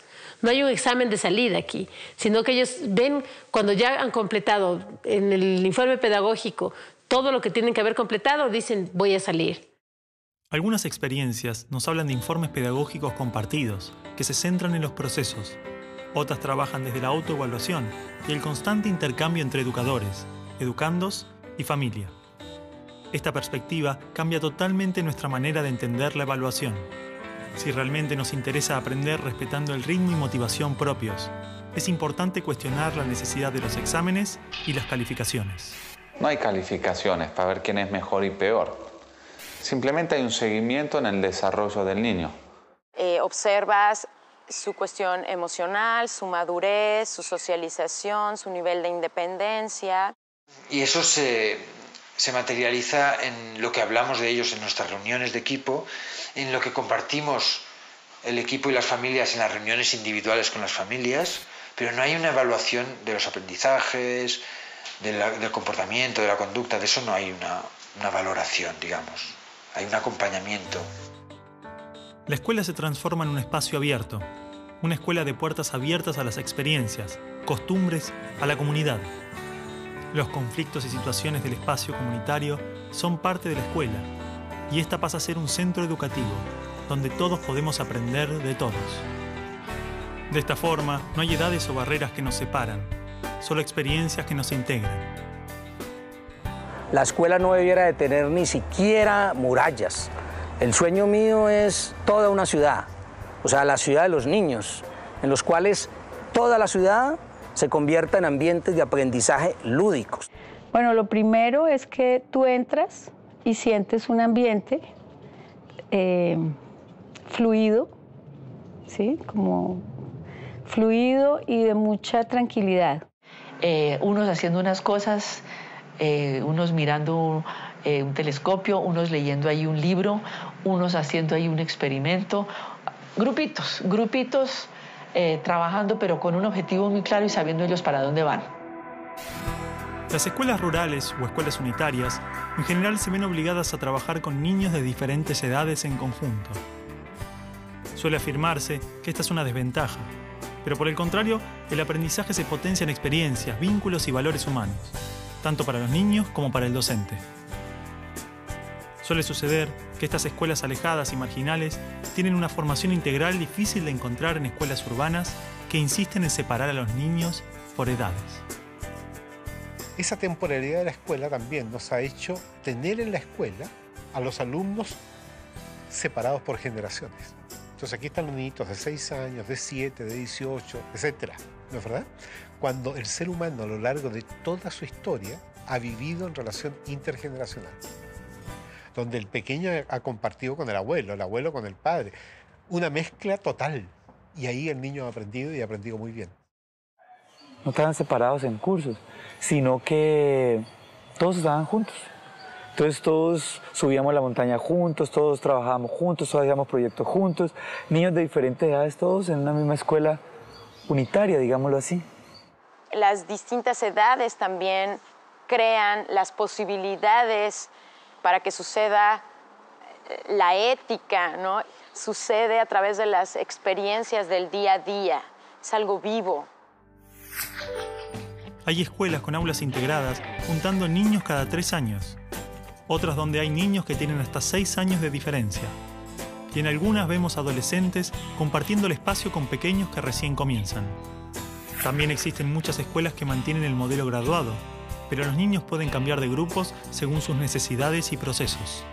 Por lo general coinciden en la edad, eh, pero como hay chicos que, que por madurez están trabajando conectados con, otra, con otros temas, eh, en una de esas ellos trabajan en algunas materias con algunos grupos más chicos o con algunos grupos más grandes. El chico que no puede avanzar en una materia, que avance en otra, que no tenga interrupción. Es como un curso de agua, que encuentra una piedra y no se queda esperando a ver. Busca por dónde pasar. Y si no crece, la pasa por arriba. Y esto permite que el niño que es fuerte en un área sea quien puede mostrar a los otros y ayudar a los otros en esa área y al mismo tiempo él puede nutrirse del que es fuerte en otra área. O sea, todos podemos ser el estímulo próximo, pero en el momento que tenga que ser. Entonces, hay muchísimos niños de distintas edades que pueden pasar a ser ese estímulo próximo para el aprendizaje del niño y no necesariamente un grupo o alguien. Y es muy linda esa conexión que tienen entre ellos, porque los más grandes cuidan a los más chiquitos, eh, cuando salen a jugar los ayudan a cambiarse, a ponerse las zapatillas o a ponerse la campera. Es más bien aprender a vivir juntos, aprender a, sí, a trabajar en equipo. ¿El objetivo de la educación cuál es? Aprender, aprender qué? Conocimientos o ir desarrollando unas capacidades humanas que solamente se desarrollan desde la relación con el otro, desde el tiempo, desde el proceso, desde el hacer, desde el comunicarse, desde el mirarse y del reconocerse, desde el amor.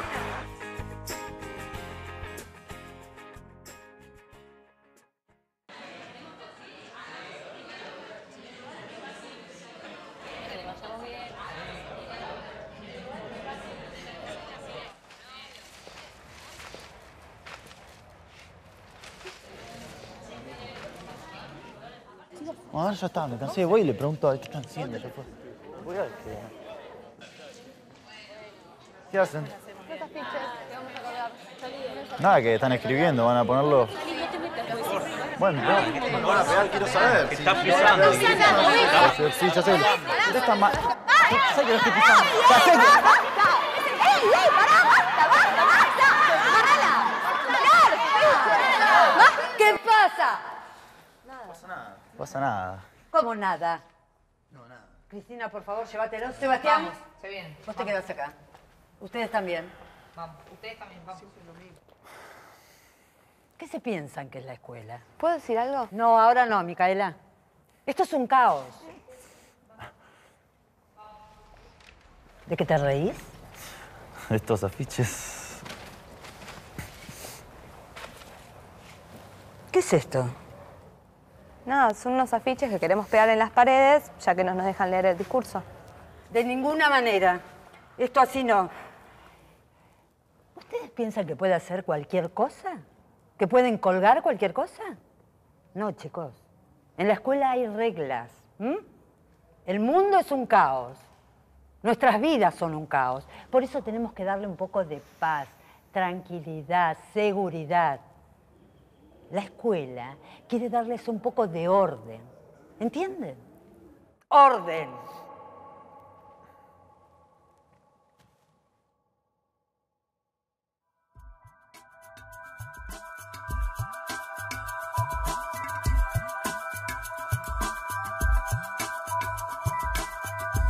Siempre hay temor que la libertad la falta de un sentido autoritario, más que autoridad, eh, genere indisciplina.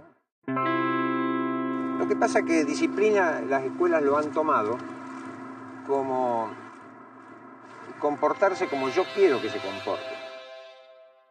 En realidad la disciplina es el aprendizaje de la conducta. Quiere decir que una persona disciplinada es una persona que aprende, que aprendió a, a manejar su conducta. Pero no externamente, sino que uno aprende a manejar su conducta. Podemos distinguir tres tipos de disciplina. Una disciplina autoritaria, normalmente con reglas establecidas por una autoridad que controla.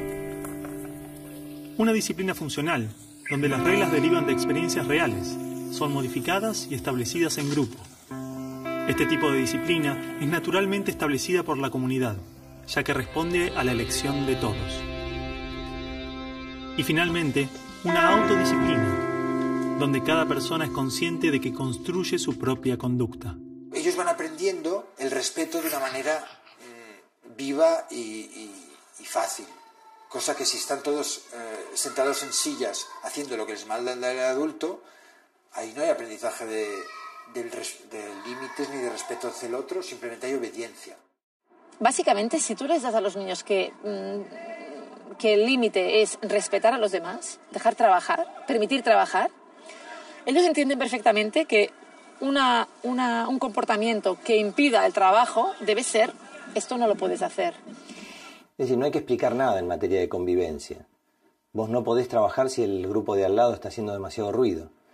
Y viceversa. Y el tema está en que el niño empiece a hacerse cargo de las consecuencias que él mismo produce. Aquel ser que puede dominarse, que puede pensar, que puede reflexionar, realmente no, no necesita de un límite externo para poder este, conseguir lo que quiere. No podemos pretender que un joven pueda tomar decisiones conscientes sobre su vida, su entorno o su país si siempre decidimos por él cómo debe ir vestido a la escuela, qué debe aprender o qué hacer en su vida. Estos jóvenes tendrán que tomar decisiones en una sociedad donde las reglas van transformándose según las nuevas necesidades, opiniones y formas de entender la realidad. De la misma forma, podría suceder en la escuela, donde las reglas serían funcionales al aprendizaje, necesidades y opiniones de los niños. Para lograr esto, es clave replantearnos las estructuras de poder en la escuela. que no debe haber estructuras de poder, que tiene que haber una autoridad funcional, administrativa, funcional, organizativa, pero no de poder.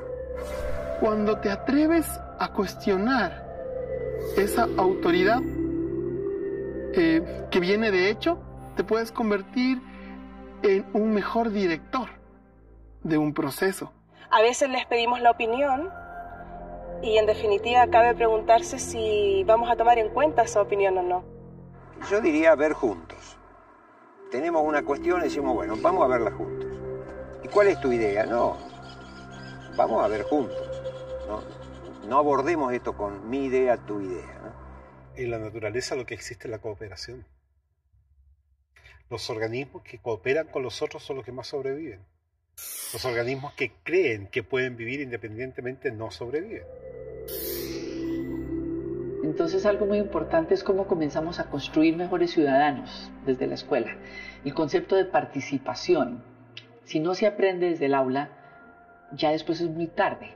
Porque son ellos mismos los que, a través de las conversaciones o los diálogos que se van generando en el colectivo, logran evidenciar qué es lo mínimo que necesitan para poder eh, convivir en ese espacio comunitario. El coordinador sería el que coordina que el currículum se cumpla, pero todas las cosas pequeñitas de adentro de ese currículum lo elegimos entre todos. Los niños tienen que aprender a trabajar en grupo, a escuchar al otro, a aceptar ideas distintas aun cuando no estén de acuerdo y no usar la fuerza, eh, a poder resolver conflictos, a tomar decisiones en grupo, a ponerse de acuerdo. Yo siento que los niños cuando están seguros y se sienten respetados, están en un espacio eh, en armonía, en equilibrio, eh, ellos por lo general no buscan romper el límite, sobre todo cuando ha sido y ha surgido desde ellos mismos como comunidad. Por ejemplo, si hay un problema, asamblea. En la asamblea se discute lo que pasa. Entonces, ya no se discute como que está contra el reglamento, que está bien, que está mal se discute la acción, se discute la sustentabilidad, se discute la interrelación.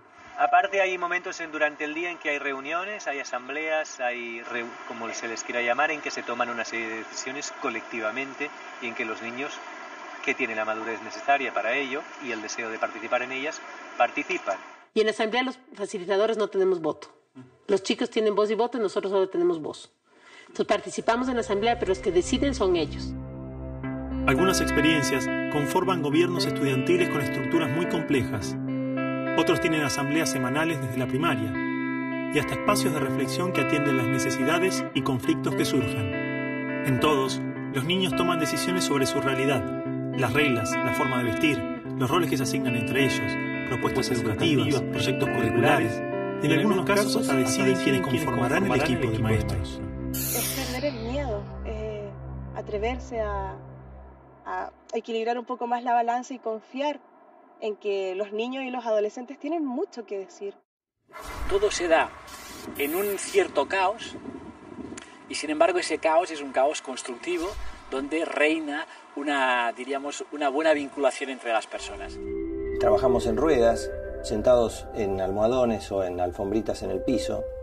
Un poco como el sentido que tenía antiguamente la ronda, ¿no? De que es un espacio en el que todos somos iguales, todos estamos a la misma distancia, nos podemos ver todos. Pues aquí los niños sobre cada objetivo de aprendizaje están dialogando, reflexionando solos, en pareja y en grupo.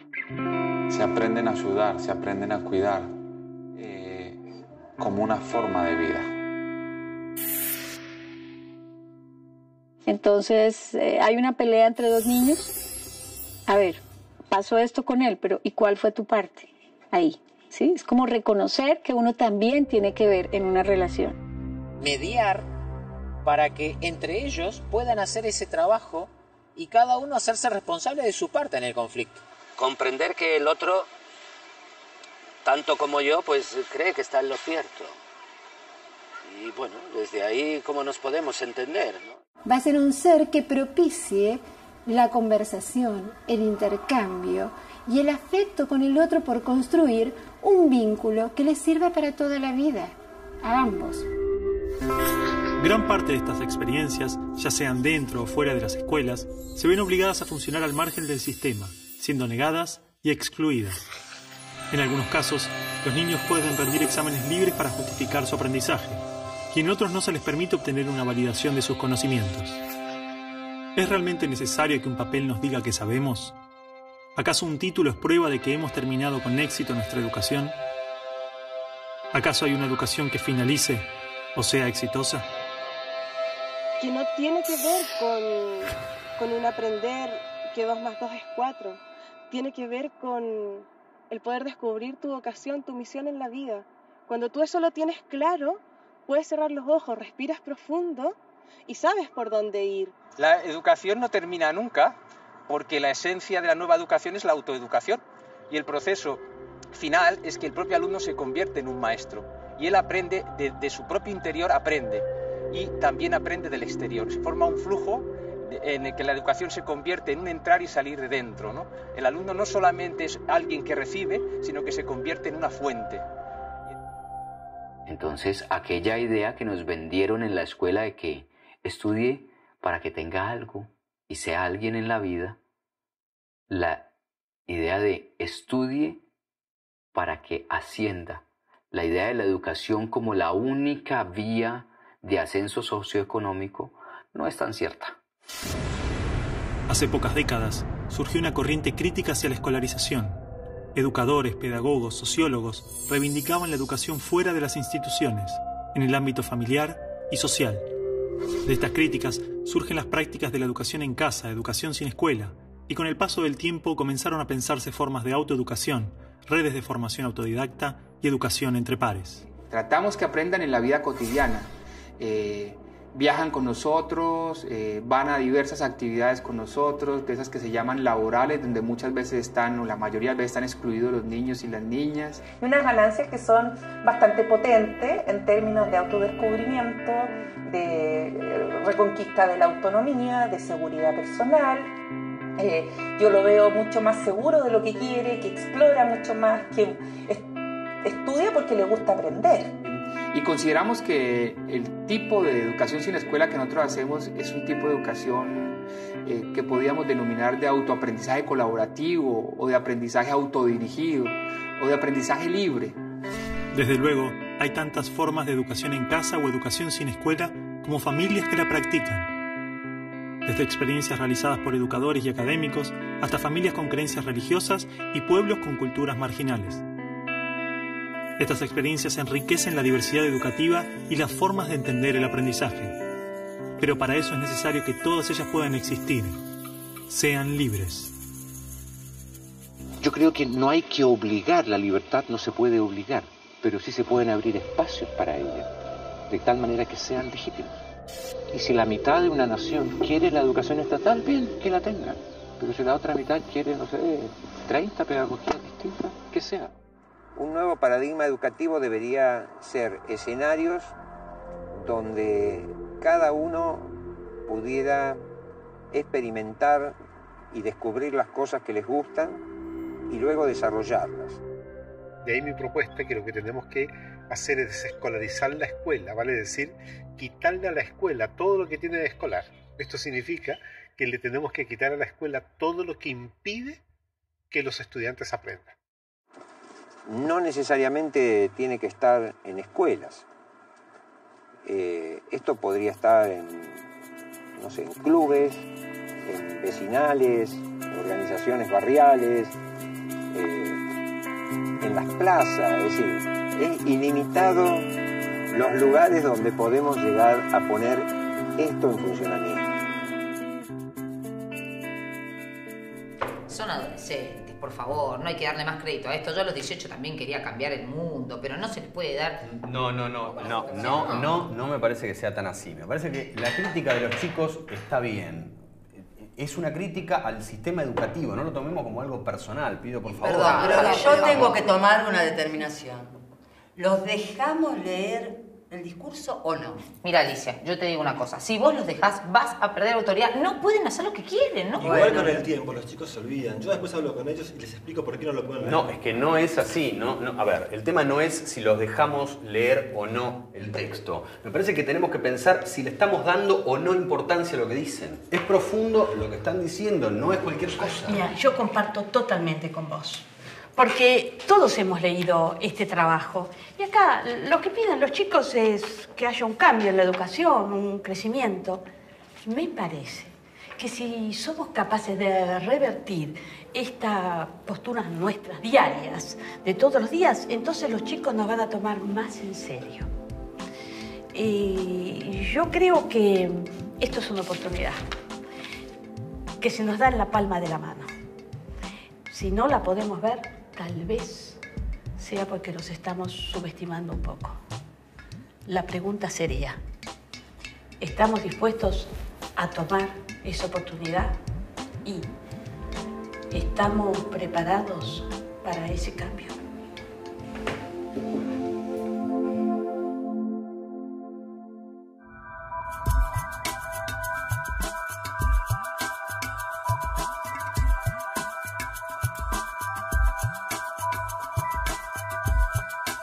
Ya no va el gran maestro a dar la gran clase magistral.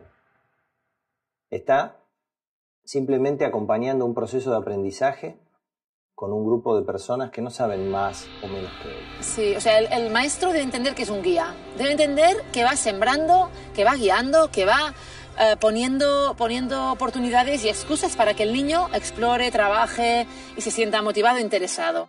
Por lo tanto, a mi modo de ver, el término educación es confuso y parte desde un lugar arrogante. Por ejemplo, educación viene de educere. Educere significa sacar. Si yo soy profesor, quiero que el niño saque algo, saque lo mejor de sí. Pero eso incluso es arrogante, porque yo es un poco violento que tú saques lo mejor de ti, que yo te haga sacar lo mejor de ti con mis educación.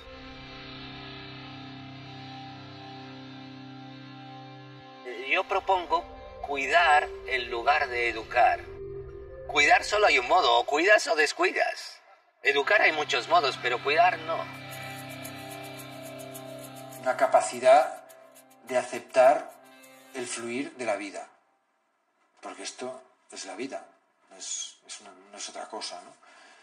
Y, y no, y no tener como el- la intención de enseñar en, en todo momento. Un buen camino es abandonar la pequeña omnipotencia que suelen tener los, los docentes de creer que llevan algo que enseñar a sus alumnos. sí eh, necesita hacer un gran trabajo de humildad y de, y de observación para poder eh, percibir a cada niño en su proceso y cuidarse de no ser un obstáculo para él. La clave no está en los materiales, los recursos, las metodologías, los contenidos o los currículums y planificaciones, sino en la forma, en la relación, en las personas y su forma de ver la educación, su manera de entender la vida, la niñez y el aprendizaje. Podemos capacitar miles de docentes e invertir millones en materiales y nuevas metodologías, pero el secreto es la mirada de cada ser humano sobre los otros, lo que hace y lo que es. ¿vale? Es abrir ese corazón puro, ese externo que uno tiene y hablar con claridad. Eso es lo único que necesitan los niños y a partir de ahí es la comunicación. Todo lo que ellos ven que tú eres a través de la verdad, ellos lo escuchan. Un docente que no cambia su actitud, que no cree en lo que va a hacer, es muy difícil que tenga resultados. El principio básico de, de todo cambio es cuestionar lo que yo creo. Y esto nos da miedo. Decir, yo no puedo cambiar manteniendo lo que creo. Y, eh, y por lo tanto, en cierto sentido, o de un modo simbólico, tengo que morir. Mi visión de la vida tiene que morir para hacerse mejor. El aprendizaje es una continua transformación y difícilmente podremos acompañar y colaborar en el aprendizaje ajeno si no aprendemos por cuenta propia, si no nos enfrentamos al cambio interno, a nuestra historia personal, a lo que nos condiciona. Y la pedagogía logosófica se basa en eso que es algo muy natural. No se puede dar lo que no se tiene. O sea que todo lo que se quiere enseñar tiene que tener el aval del de la propia experiencia, el aval de la propia vida. Los que están enseñando vienen de una educación represiva. Por lo tanto, los maestros que enseñan no saben cómo gestionar sus propias emociones. Por lo tanto, no pueden enseñarlas. La clave está en que cada generación tiene una responsabilidad para mí. una responsabilidad esencial que es ser ejemplo de lo que hace en su vida, ser ejemplo de una vida lo más integral posible.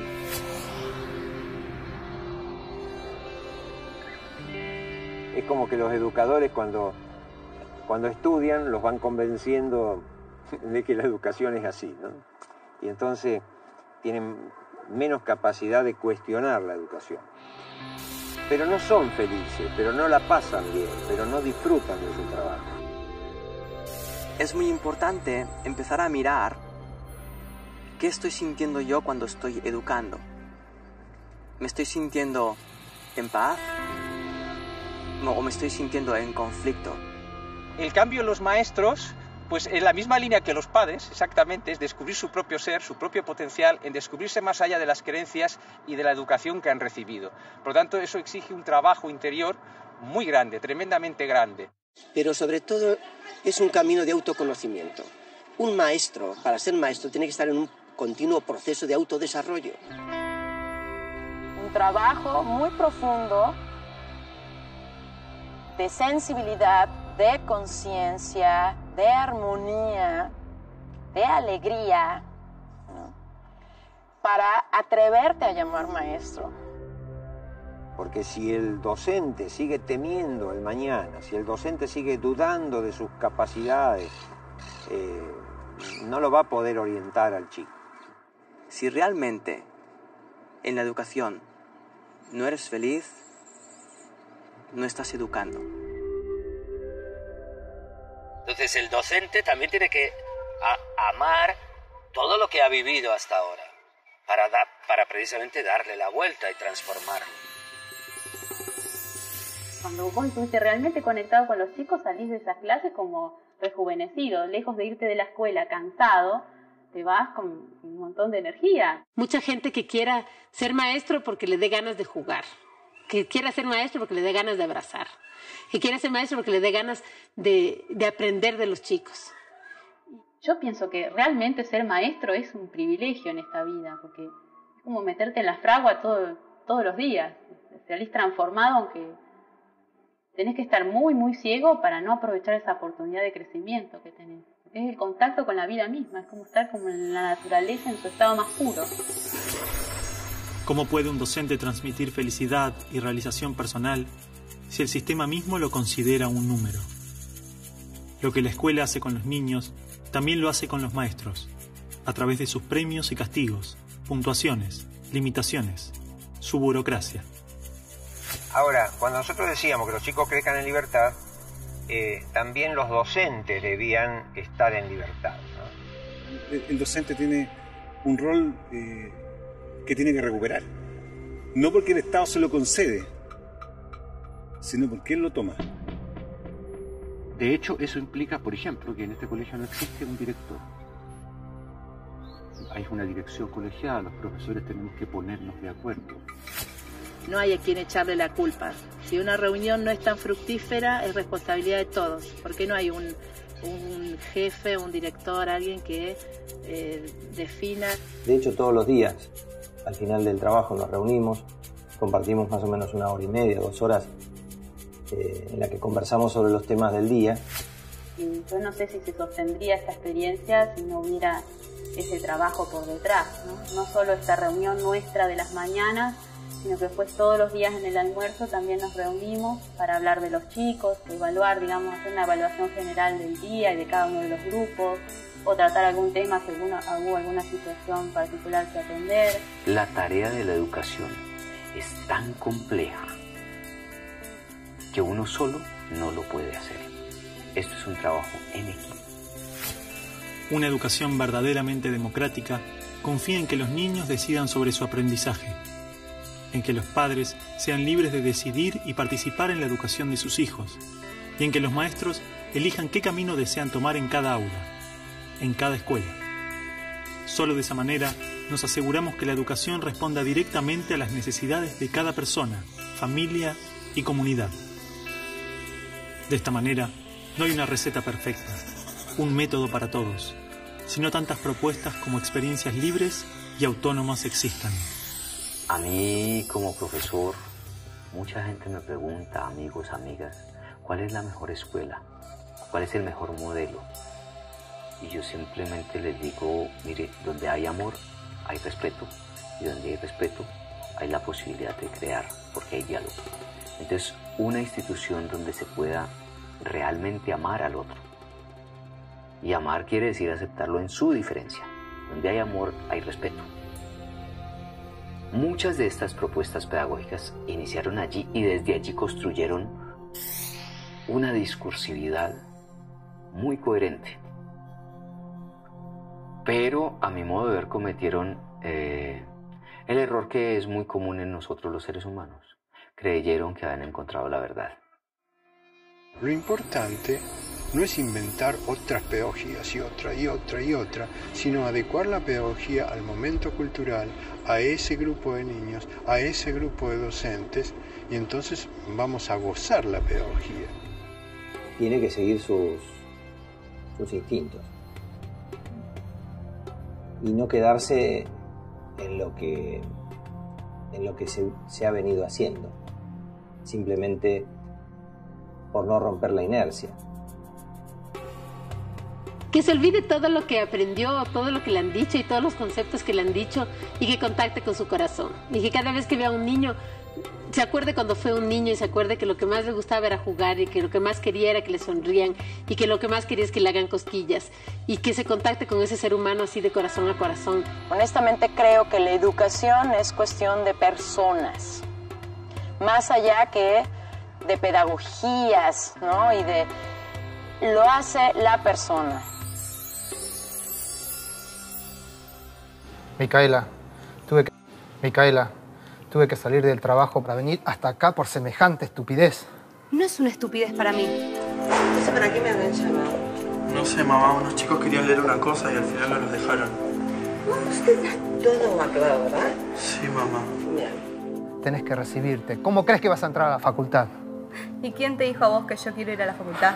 Bueno, esto se terminó. Vos tenés tu futuro ya asegurado, así que ahora te de vacaciones, disfrutas de la playa y en abril cuando llegas, vas a trabajar con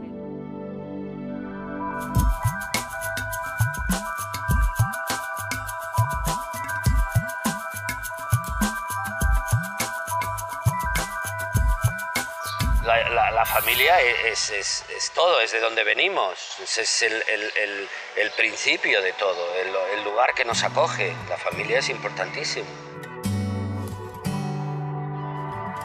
La pedagogía sistémica dice que los protagonistas de la educación son los padres.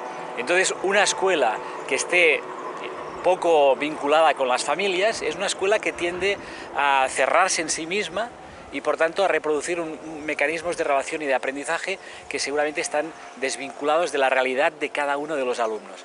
Sin la implicación de los padres y de las familias en general mm, no puede haber proyecto. La familia no es culpable de los malos resultados escolares, como lo dice la escuela. La familia es la responsable de toda la vida de la persona que está criando. Es determinante en la formación del ser humano porque tú puedes hacer todo el trabajo de sensibilización, de respeto, de reconocimiento del otro, pero si llega ese chico a la casa y el padre apenas lo ve, lo desconoce y cuando lo reconoces para regañarlo, para gritarlo, para mandarlo, ¿cómo qué le va quedando al niño? Antiguamente, los niños aprendían en sus hogares, trabajando con sus padres, de sus quehaceres diarios, del día a día. Todo lo aprendían de compartir con sus padres y la comunidad. La escuela debía acompañar ese proceso. Pero muchas familias han perdido esta confianza en sí mismas. La confianza en que su propio instinto puede decirles cómo criar y educar a un niño. Como lo hemos hecho miles de años. Parece que los padres piensan que, criar a un hijo es una actividad profesional. Es decir, que yo para criar a mi propio hijo debería estudiar debería esforzarme y que como a, fin y al cabo probablemente no lo acabaré de hacer bien por mucho que me esfuerce, pues lo mejor es que ya directamente le deje al niño a un profesional, a un pedagogo, a un pediatra, a un psicólogo, que ellos sí que saben de cuidar hijos, y no es así. Los únicos que pueden criar bien a los hijos son los padres.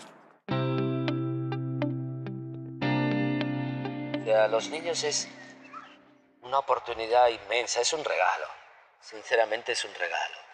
Y es triste que normalmente nuestra, en el mundo desarrollado, lo que solemos hacer es apartarnos. Los llevamos a la escuela pronto. Ah, hay madres y padres que ven al niño una hora al día.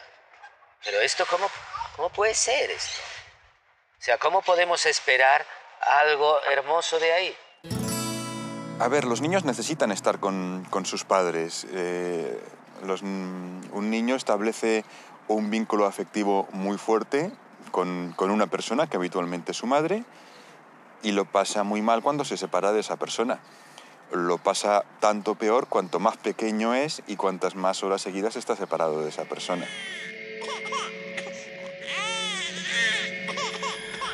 Ve que los papás les hemos aparcado ahí para que mientras nosotros estamos haciendo cosas interesantes o estamos trabajando, o sea, ellos están ahí encerrados para que no den el peñazo. Y esa es la, muchas veces la sensación que ellos tienen y no entienden para qué aprender todo aquello. Esto incluso las, las guarderías, digamos, de categoría no, no, no han hecho absolutamente nada bueno. Es una cosa separar al hijo de la madre tan, tan pronto. Esto, ¿quién, quién, ¿Qué estudio defiende esto? Esto no, en fin, no, no hay nada que defienda esto. Nosotros debemos de estar es con nuestra familia. Las escuelas no tienen sentido ahí. Nosotros debemos de estar es con nuestros amigos jugando, con nuestras pandillas, entre comillas, aprendiendo a conocer el mundo. La presión social, las extensas jornadas laborales, la necesidad de no sentirnos excluidos, nos obliga día a día a tomar decisiones sin preguntarnos realmente si son lógicas o coherentes para nosotros, sin pensar cómo nos sentimos. Es decir, yo creo que, que los niños son el reflejo de la sociedad que vivimos y si están bien cuidados, se nota. Y, esta sociedad no cuida a los niños porque tampoco se cuida a sí misma. Ellos son nuestro espejo. Cuando un niño vuelve de la escuela a casa, eh, la pregunta que los padres hacen, ¿y qué hiciste? ¿Y cómo te fue? Eh, ¿Y qué aprendiste? Pero la pregunta que normalmente nunca hacemos es ¿cómo te sentiste hoy en la escuela? La idea más revolucionaria que existe es intentar que las personas sean felices. Cuando una persona es feliz, tiene ganas de compartir esa felicidad con el otro, tiene ganas de compartir ese amor con el otro y tiene ganas de ayudar y cooperar con el otro. Pero para eso una persona tiene que estar bien consigo misma. Si yo le estoy diciendo a mi hijo, sé feliz, sé feliz, pero yo estoy resentido porque mis padres no me enseñaron esto, mi hijo no podrá aprender realmente lo que es ser feliz porque yo no se lo estaré demostrando. Cuando una persona está bien consigo misma, está bien consigo misma cuando es capaz de tomar a su padre y a su madre y decir, sí, este es mi padre y este es mi madre. A pesar de todo lo que pasó, yo estoy en paz con mi pasado. Yo no estoy en lucha contra nada, ni quiero defender ni demostrar nada a nadie. No tengo que construir ningún tipo de identidad falsa. Soy maestro, soy psicólogo, soy tal. No, yo simplemente soy. Que intenten uh, recordar al niño pequeño que ellos fueron y que recuerden que lo que era más importante para ellos era ver en los ojos de sus padres amor incondicional, aceptación total.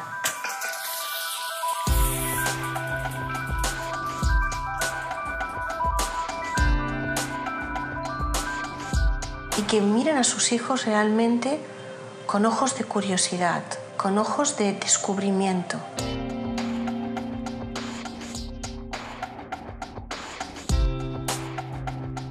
Y que no solo descubran al niño, sino que también descubran al mundo a través de los ojos, de las manos.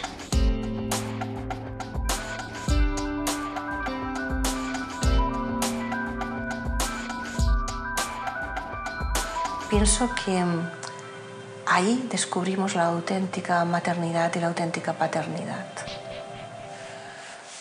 Pues yo les diría que, que miren a sus hijos, o, o, si no tienen hijos, que miren a, a los niños, que, que, que observen un rato a los niños desde el corazón. Y con eso es suficiente para decidir. Entonces usted dele lo que más pueda de atención. Juegue, revuélquese con él, participe con él lo que más pueda. Hágale que él participe en sus, en sus tareas, aprenda de las cosas de la casa, pero a su voluntad y como un juego. Por muchos buenos métodos que tengamos, un niño necesita ante todo amor, cercanía, sentirse cuidado, protegido. Cuanto más pequeño, más protegido. Y después, por sí mismo, puede proteger a los demás y cuidar a los demás. Es decir, primero tiene que apegarse para desapegarse. Creo en que las mamás y los papás eh, estamos volviendo a ser los educadores que fuimos en algún momento. Más allá de ir y votar a tu hijo en un lugar donde parece ser que te lo van a educar, estamos diciendo, a ver, no, momento, ¿no? Esto no lo acepto y creo que además tiene que surgir de ahí. No va a llegar de una autoridad. Esto es algo que sencillamente a nivel personal tienes que trabajar por eh, alcanzarlo. Nuestra historia social, cultural y personal nos ha traído a este momento. Adoptamos y creamos una gran cantidad de objetivos y expectativas que probablemente no sean nuestras, sino del mundo que nos rodea. La mejor escuela, la mejor universidad, títulos, prestigio, dinero. Nos ha hecho olvidar lo que realmente buscamos. ¿Qué buscan? Buscan que su hijo tenga un, este, un título determinado. ¿Para qué? ¿Mm? ¿Para qué estoy en esa búsqueda de saber? ¿Qué estoy buscando? ¿Qué tipo de conocimiento busco? Un conocimiento que genere al niño llegar a un éxito, ¿desde qué punto de vista? Mi hijo tiene que ser como yo quiero que sea. O tiene que cumplir lo que yo nunca he podido cumplir. Todo esto es muy egocéntrico. Estoy educando para que se sepan adaptar a la sociedad que les va a tocar vivir, que mira que va a ser dura. O estoy educando para que ellos detecten críticamente lo que les gusta, lo que no les gusta y en su día a día trabajen para la mejora de esta sociedad. Porque un niño viene con un mundo tan fresco que irremediablemente va a cuestionar el mío. Porque para él todo es nuevo. Para él no hay nada viejo. Confíen en sus hijos. Ellos saben mucho más de lo que ustedes creen. Porque a veces los, las personas que más limitamos a nuestros hijos somos los padres. Y después lo sufrimos. Lo que trato de transmitirte es que es tan hermoso poder cuidar a un hijo por todo lo inesperado que tiene, por todo lo misterioso, por todos los problemas que nos trae. Es, es hermosísimo porque eso es una oportunidad para crecer inmensa. Liberemos nuestras expectativas. Hagamos a un lado lo que el mundo pretende de los niños, lo que la cultura espera de cada uno de nosotros. Respeten a los niños. Denle la oportunidad que se desarrollen como ellos se desarrollan, no como nosotros de adultos queremos o pensamos que deba ser, sino como ellos pueden hacerlo. Los ideales y objetivos que tenemos sobre los niños no nos permiten ver quiénes realmente son y qué es lo que necesitan, no mañana o dentro de varios años, sino hoy. Hay, hay una sola cosa que realmente es importante.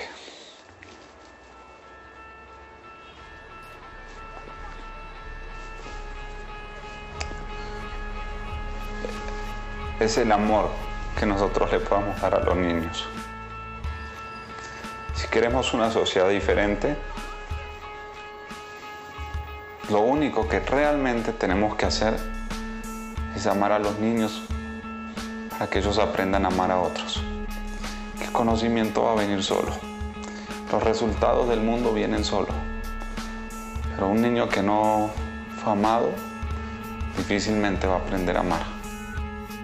Esto es algo que escribieron unos compañeros para leer a fin de año, pero no los dejaron. Y a mí me parece que es importante, entonces me gustaría leerlo. Hoy en día la educación está prohibida. Muy poco de lo que pasa en nuestra escuela es verdaderamente importante. Y las cosas que importan no se anotan en ningún cuaderno ni en ninguna carpeta. ¿Cómo encontrarnos con la vida? ¿Cómo enfrentarnos a las dificultades? No lo sabemos. Hablan mucho de educación, progreso, democracia, libertad, un mundo mejor. Un mundo mejor. Pero nada de eso pasa en el aula. Nada de eso pasa en el aula. Nos enseñan a estar lejos unos de otros y a competir por cosas que no tienen valor. Padres y maestros no nos escuchan. No nos preguntan nunca qué opinamos. No tienen No idea de qué idea de qué sentimos, sentimos, qué qué pensamos pensamos, o qué queremos qué hacer. queremos hacer.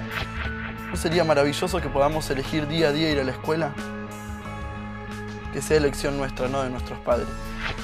Que la escuela sea un lugar hermoso, donde disfrutar, donde jugar, donde ser libres, donde elegir qué aprender y cómo aprenderlo. Existen multitud de experiencias que se han animado a transformar las estructuras de la escuela. Experiencias de educadores que se atrevieron a pensar la escuela desde otros lugares. Muchas de ellas se han convertido en métodos formales, otras trabajan desde espacios comunitarios y populares. Algunas han elegido continuar la experiencia en forma privada y muchos otros lo hacen dentro de las aulas de la escuela pública. Estos ejemplos son prueba viva de que los esquemas tradicionales de la escuela pueden ser reinterpretados y alterados. Hay experiencias en toda clase y grupo social donde han habido educadores con intención de cambiar.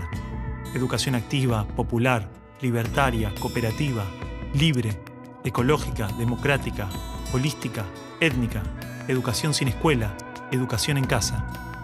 En mayor o menor medida, todas estas experiencias apuestan a pensar el aprendizaje como un continuo crecimiento, como el intercambio vivo entre el individuo, sus pares, su entorno y su comunidad. Una educación viva. Enseñarnos que las cosas pueden ser distintas. Ese es el ejemplo que nos tienen que dar. Sus expectativas son suyas, no son nuestras. Y mientras las sigan teniendo, vamos a seguir fallando. Esta película expone una parte de las ideas que encontramos. Hemos visitado algunas de todas las experiencias que existen y solo unas pocas las conocimos en profundidad. No existe una sola forma, no existe el mejor modelo. La verdadera diversidad existe cuando se respeta y experimenta la diversidad en todas sus dimensiones. Todas estas experiencias son valiosas porque son el fruto de personas que dedicaron su vida al aprendizaje. Existen desencuentros y coincidencias, pero no cabe duda de que todos aportan al mejoramiento de la educación. Necesitamos que sus ideas y prácticas salgan a la luz, poder conocer sus aportes, historias, riquezas y limitaciones, compartir recursos, intercambiar visiones y construir juntos un nuevo paradigma educativo. Por todo esto decimos basta. Basta de decidir por nosotros. Basta de calificarnos, basta de imponernos. Y Ni las ciencias, ni los exámenes, ni los títulos nos definen. Acá estamos para eso, para hablar, para compartir nuestras ideas. Aprender que las cosas se pueden cambiar. Nosotros vamos a decidir qué queremos ser, hacer, sentir o pensar. Hoy más que nunca existen los recursos para que estas experiencias se multipliquen y diversifiquen. Existe la posibilidad de que la escuela se reencuentre con la educación, que sea un espacio construido y gestionado por toda la comunidad, que responda a las necesidades de las personas y su entorno. Creemos que la educación está prohibida. No por culpa de las familias, no por culpa de los chicos, no por culpa de los docentes. La educación la prohibimos todos. Cada vez que elegís mirar para otro lado en vez de escuchar. Cada vez que elegimos la meta en lugar del trayecto. Cada vez que dejamos todo igual en lugar de probar algo nuevo. Esta película es una invitación a encontrarnos con la educación más allá de los muros de la escuela que todos conocemos. Una invitación a pensar otras formas de aprendizaje, a conversar y debatir acerca de nuestras prácticas escolares y educativas. Seas docente. Seas alumno, seas padre, seas quien seas, La educación tiene que avanzar. Tiene que crecer. Tiene que cambiar. Encontrarnos con los otros, conocer y explorar sus experiencias, intercambiar ideas y llevarlas a nuestra realidad. Esa es nuestra propuesta y empieza hoy mismo.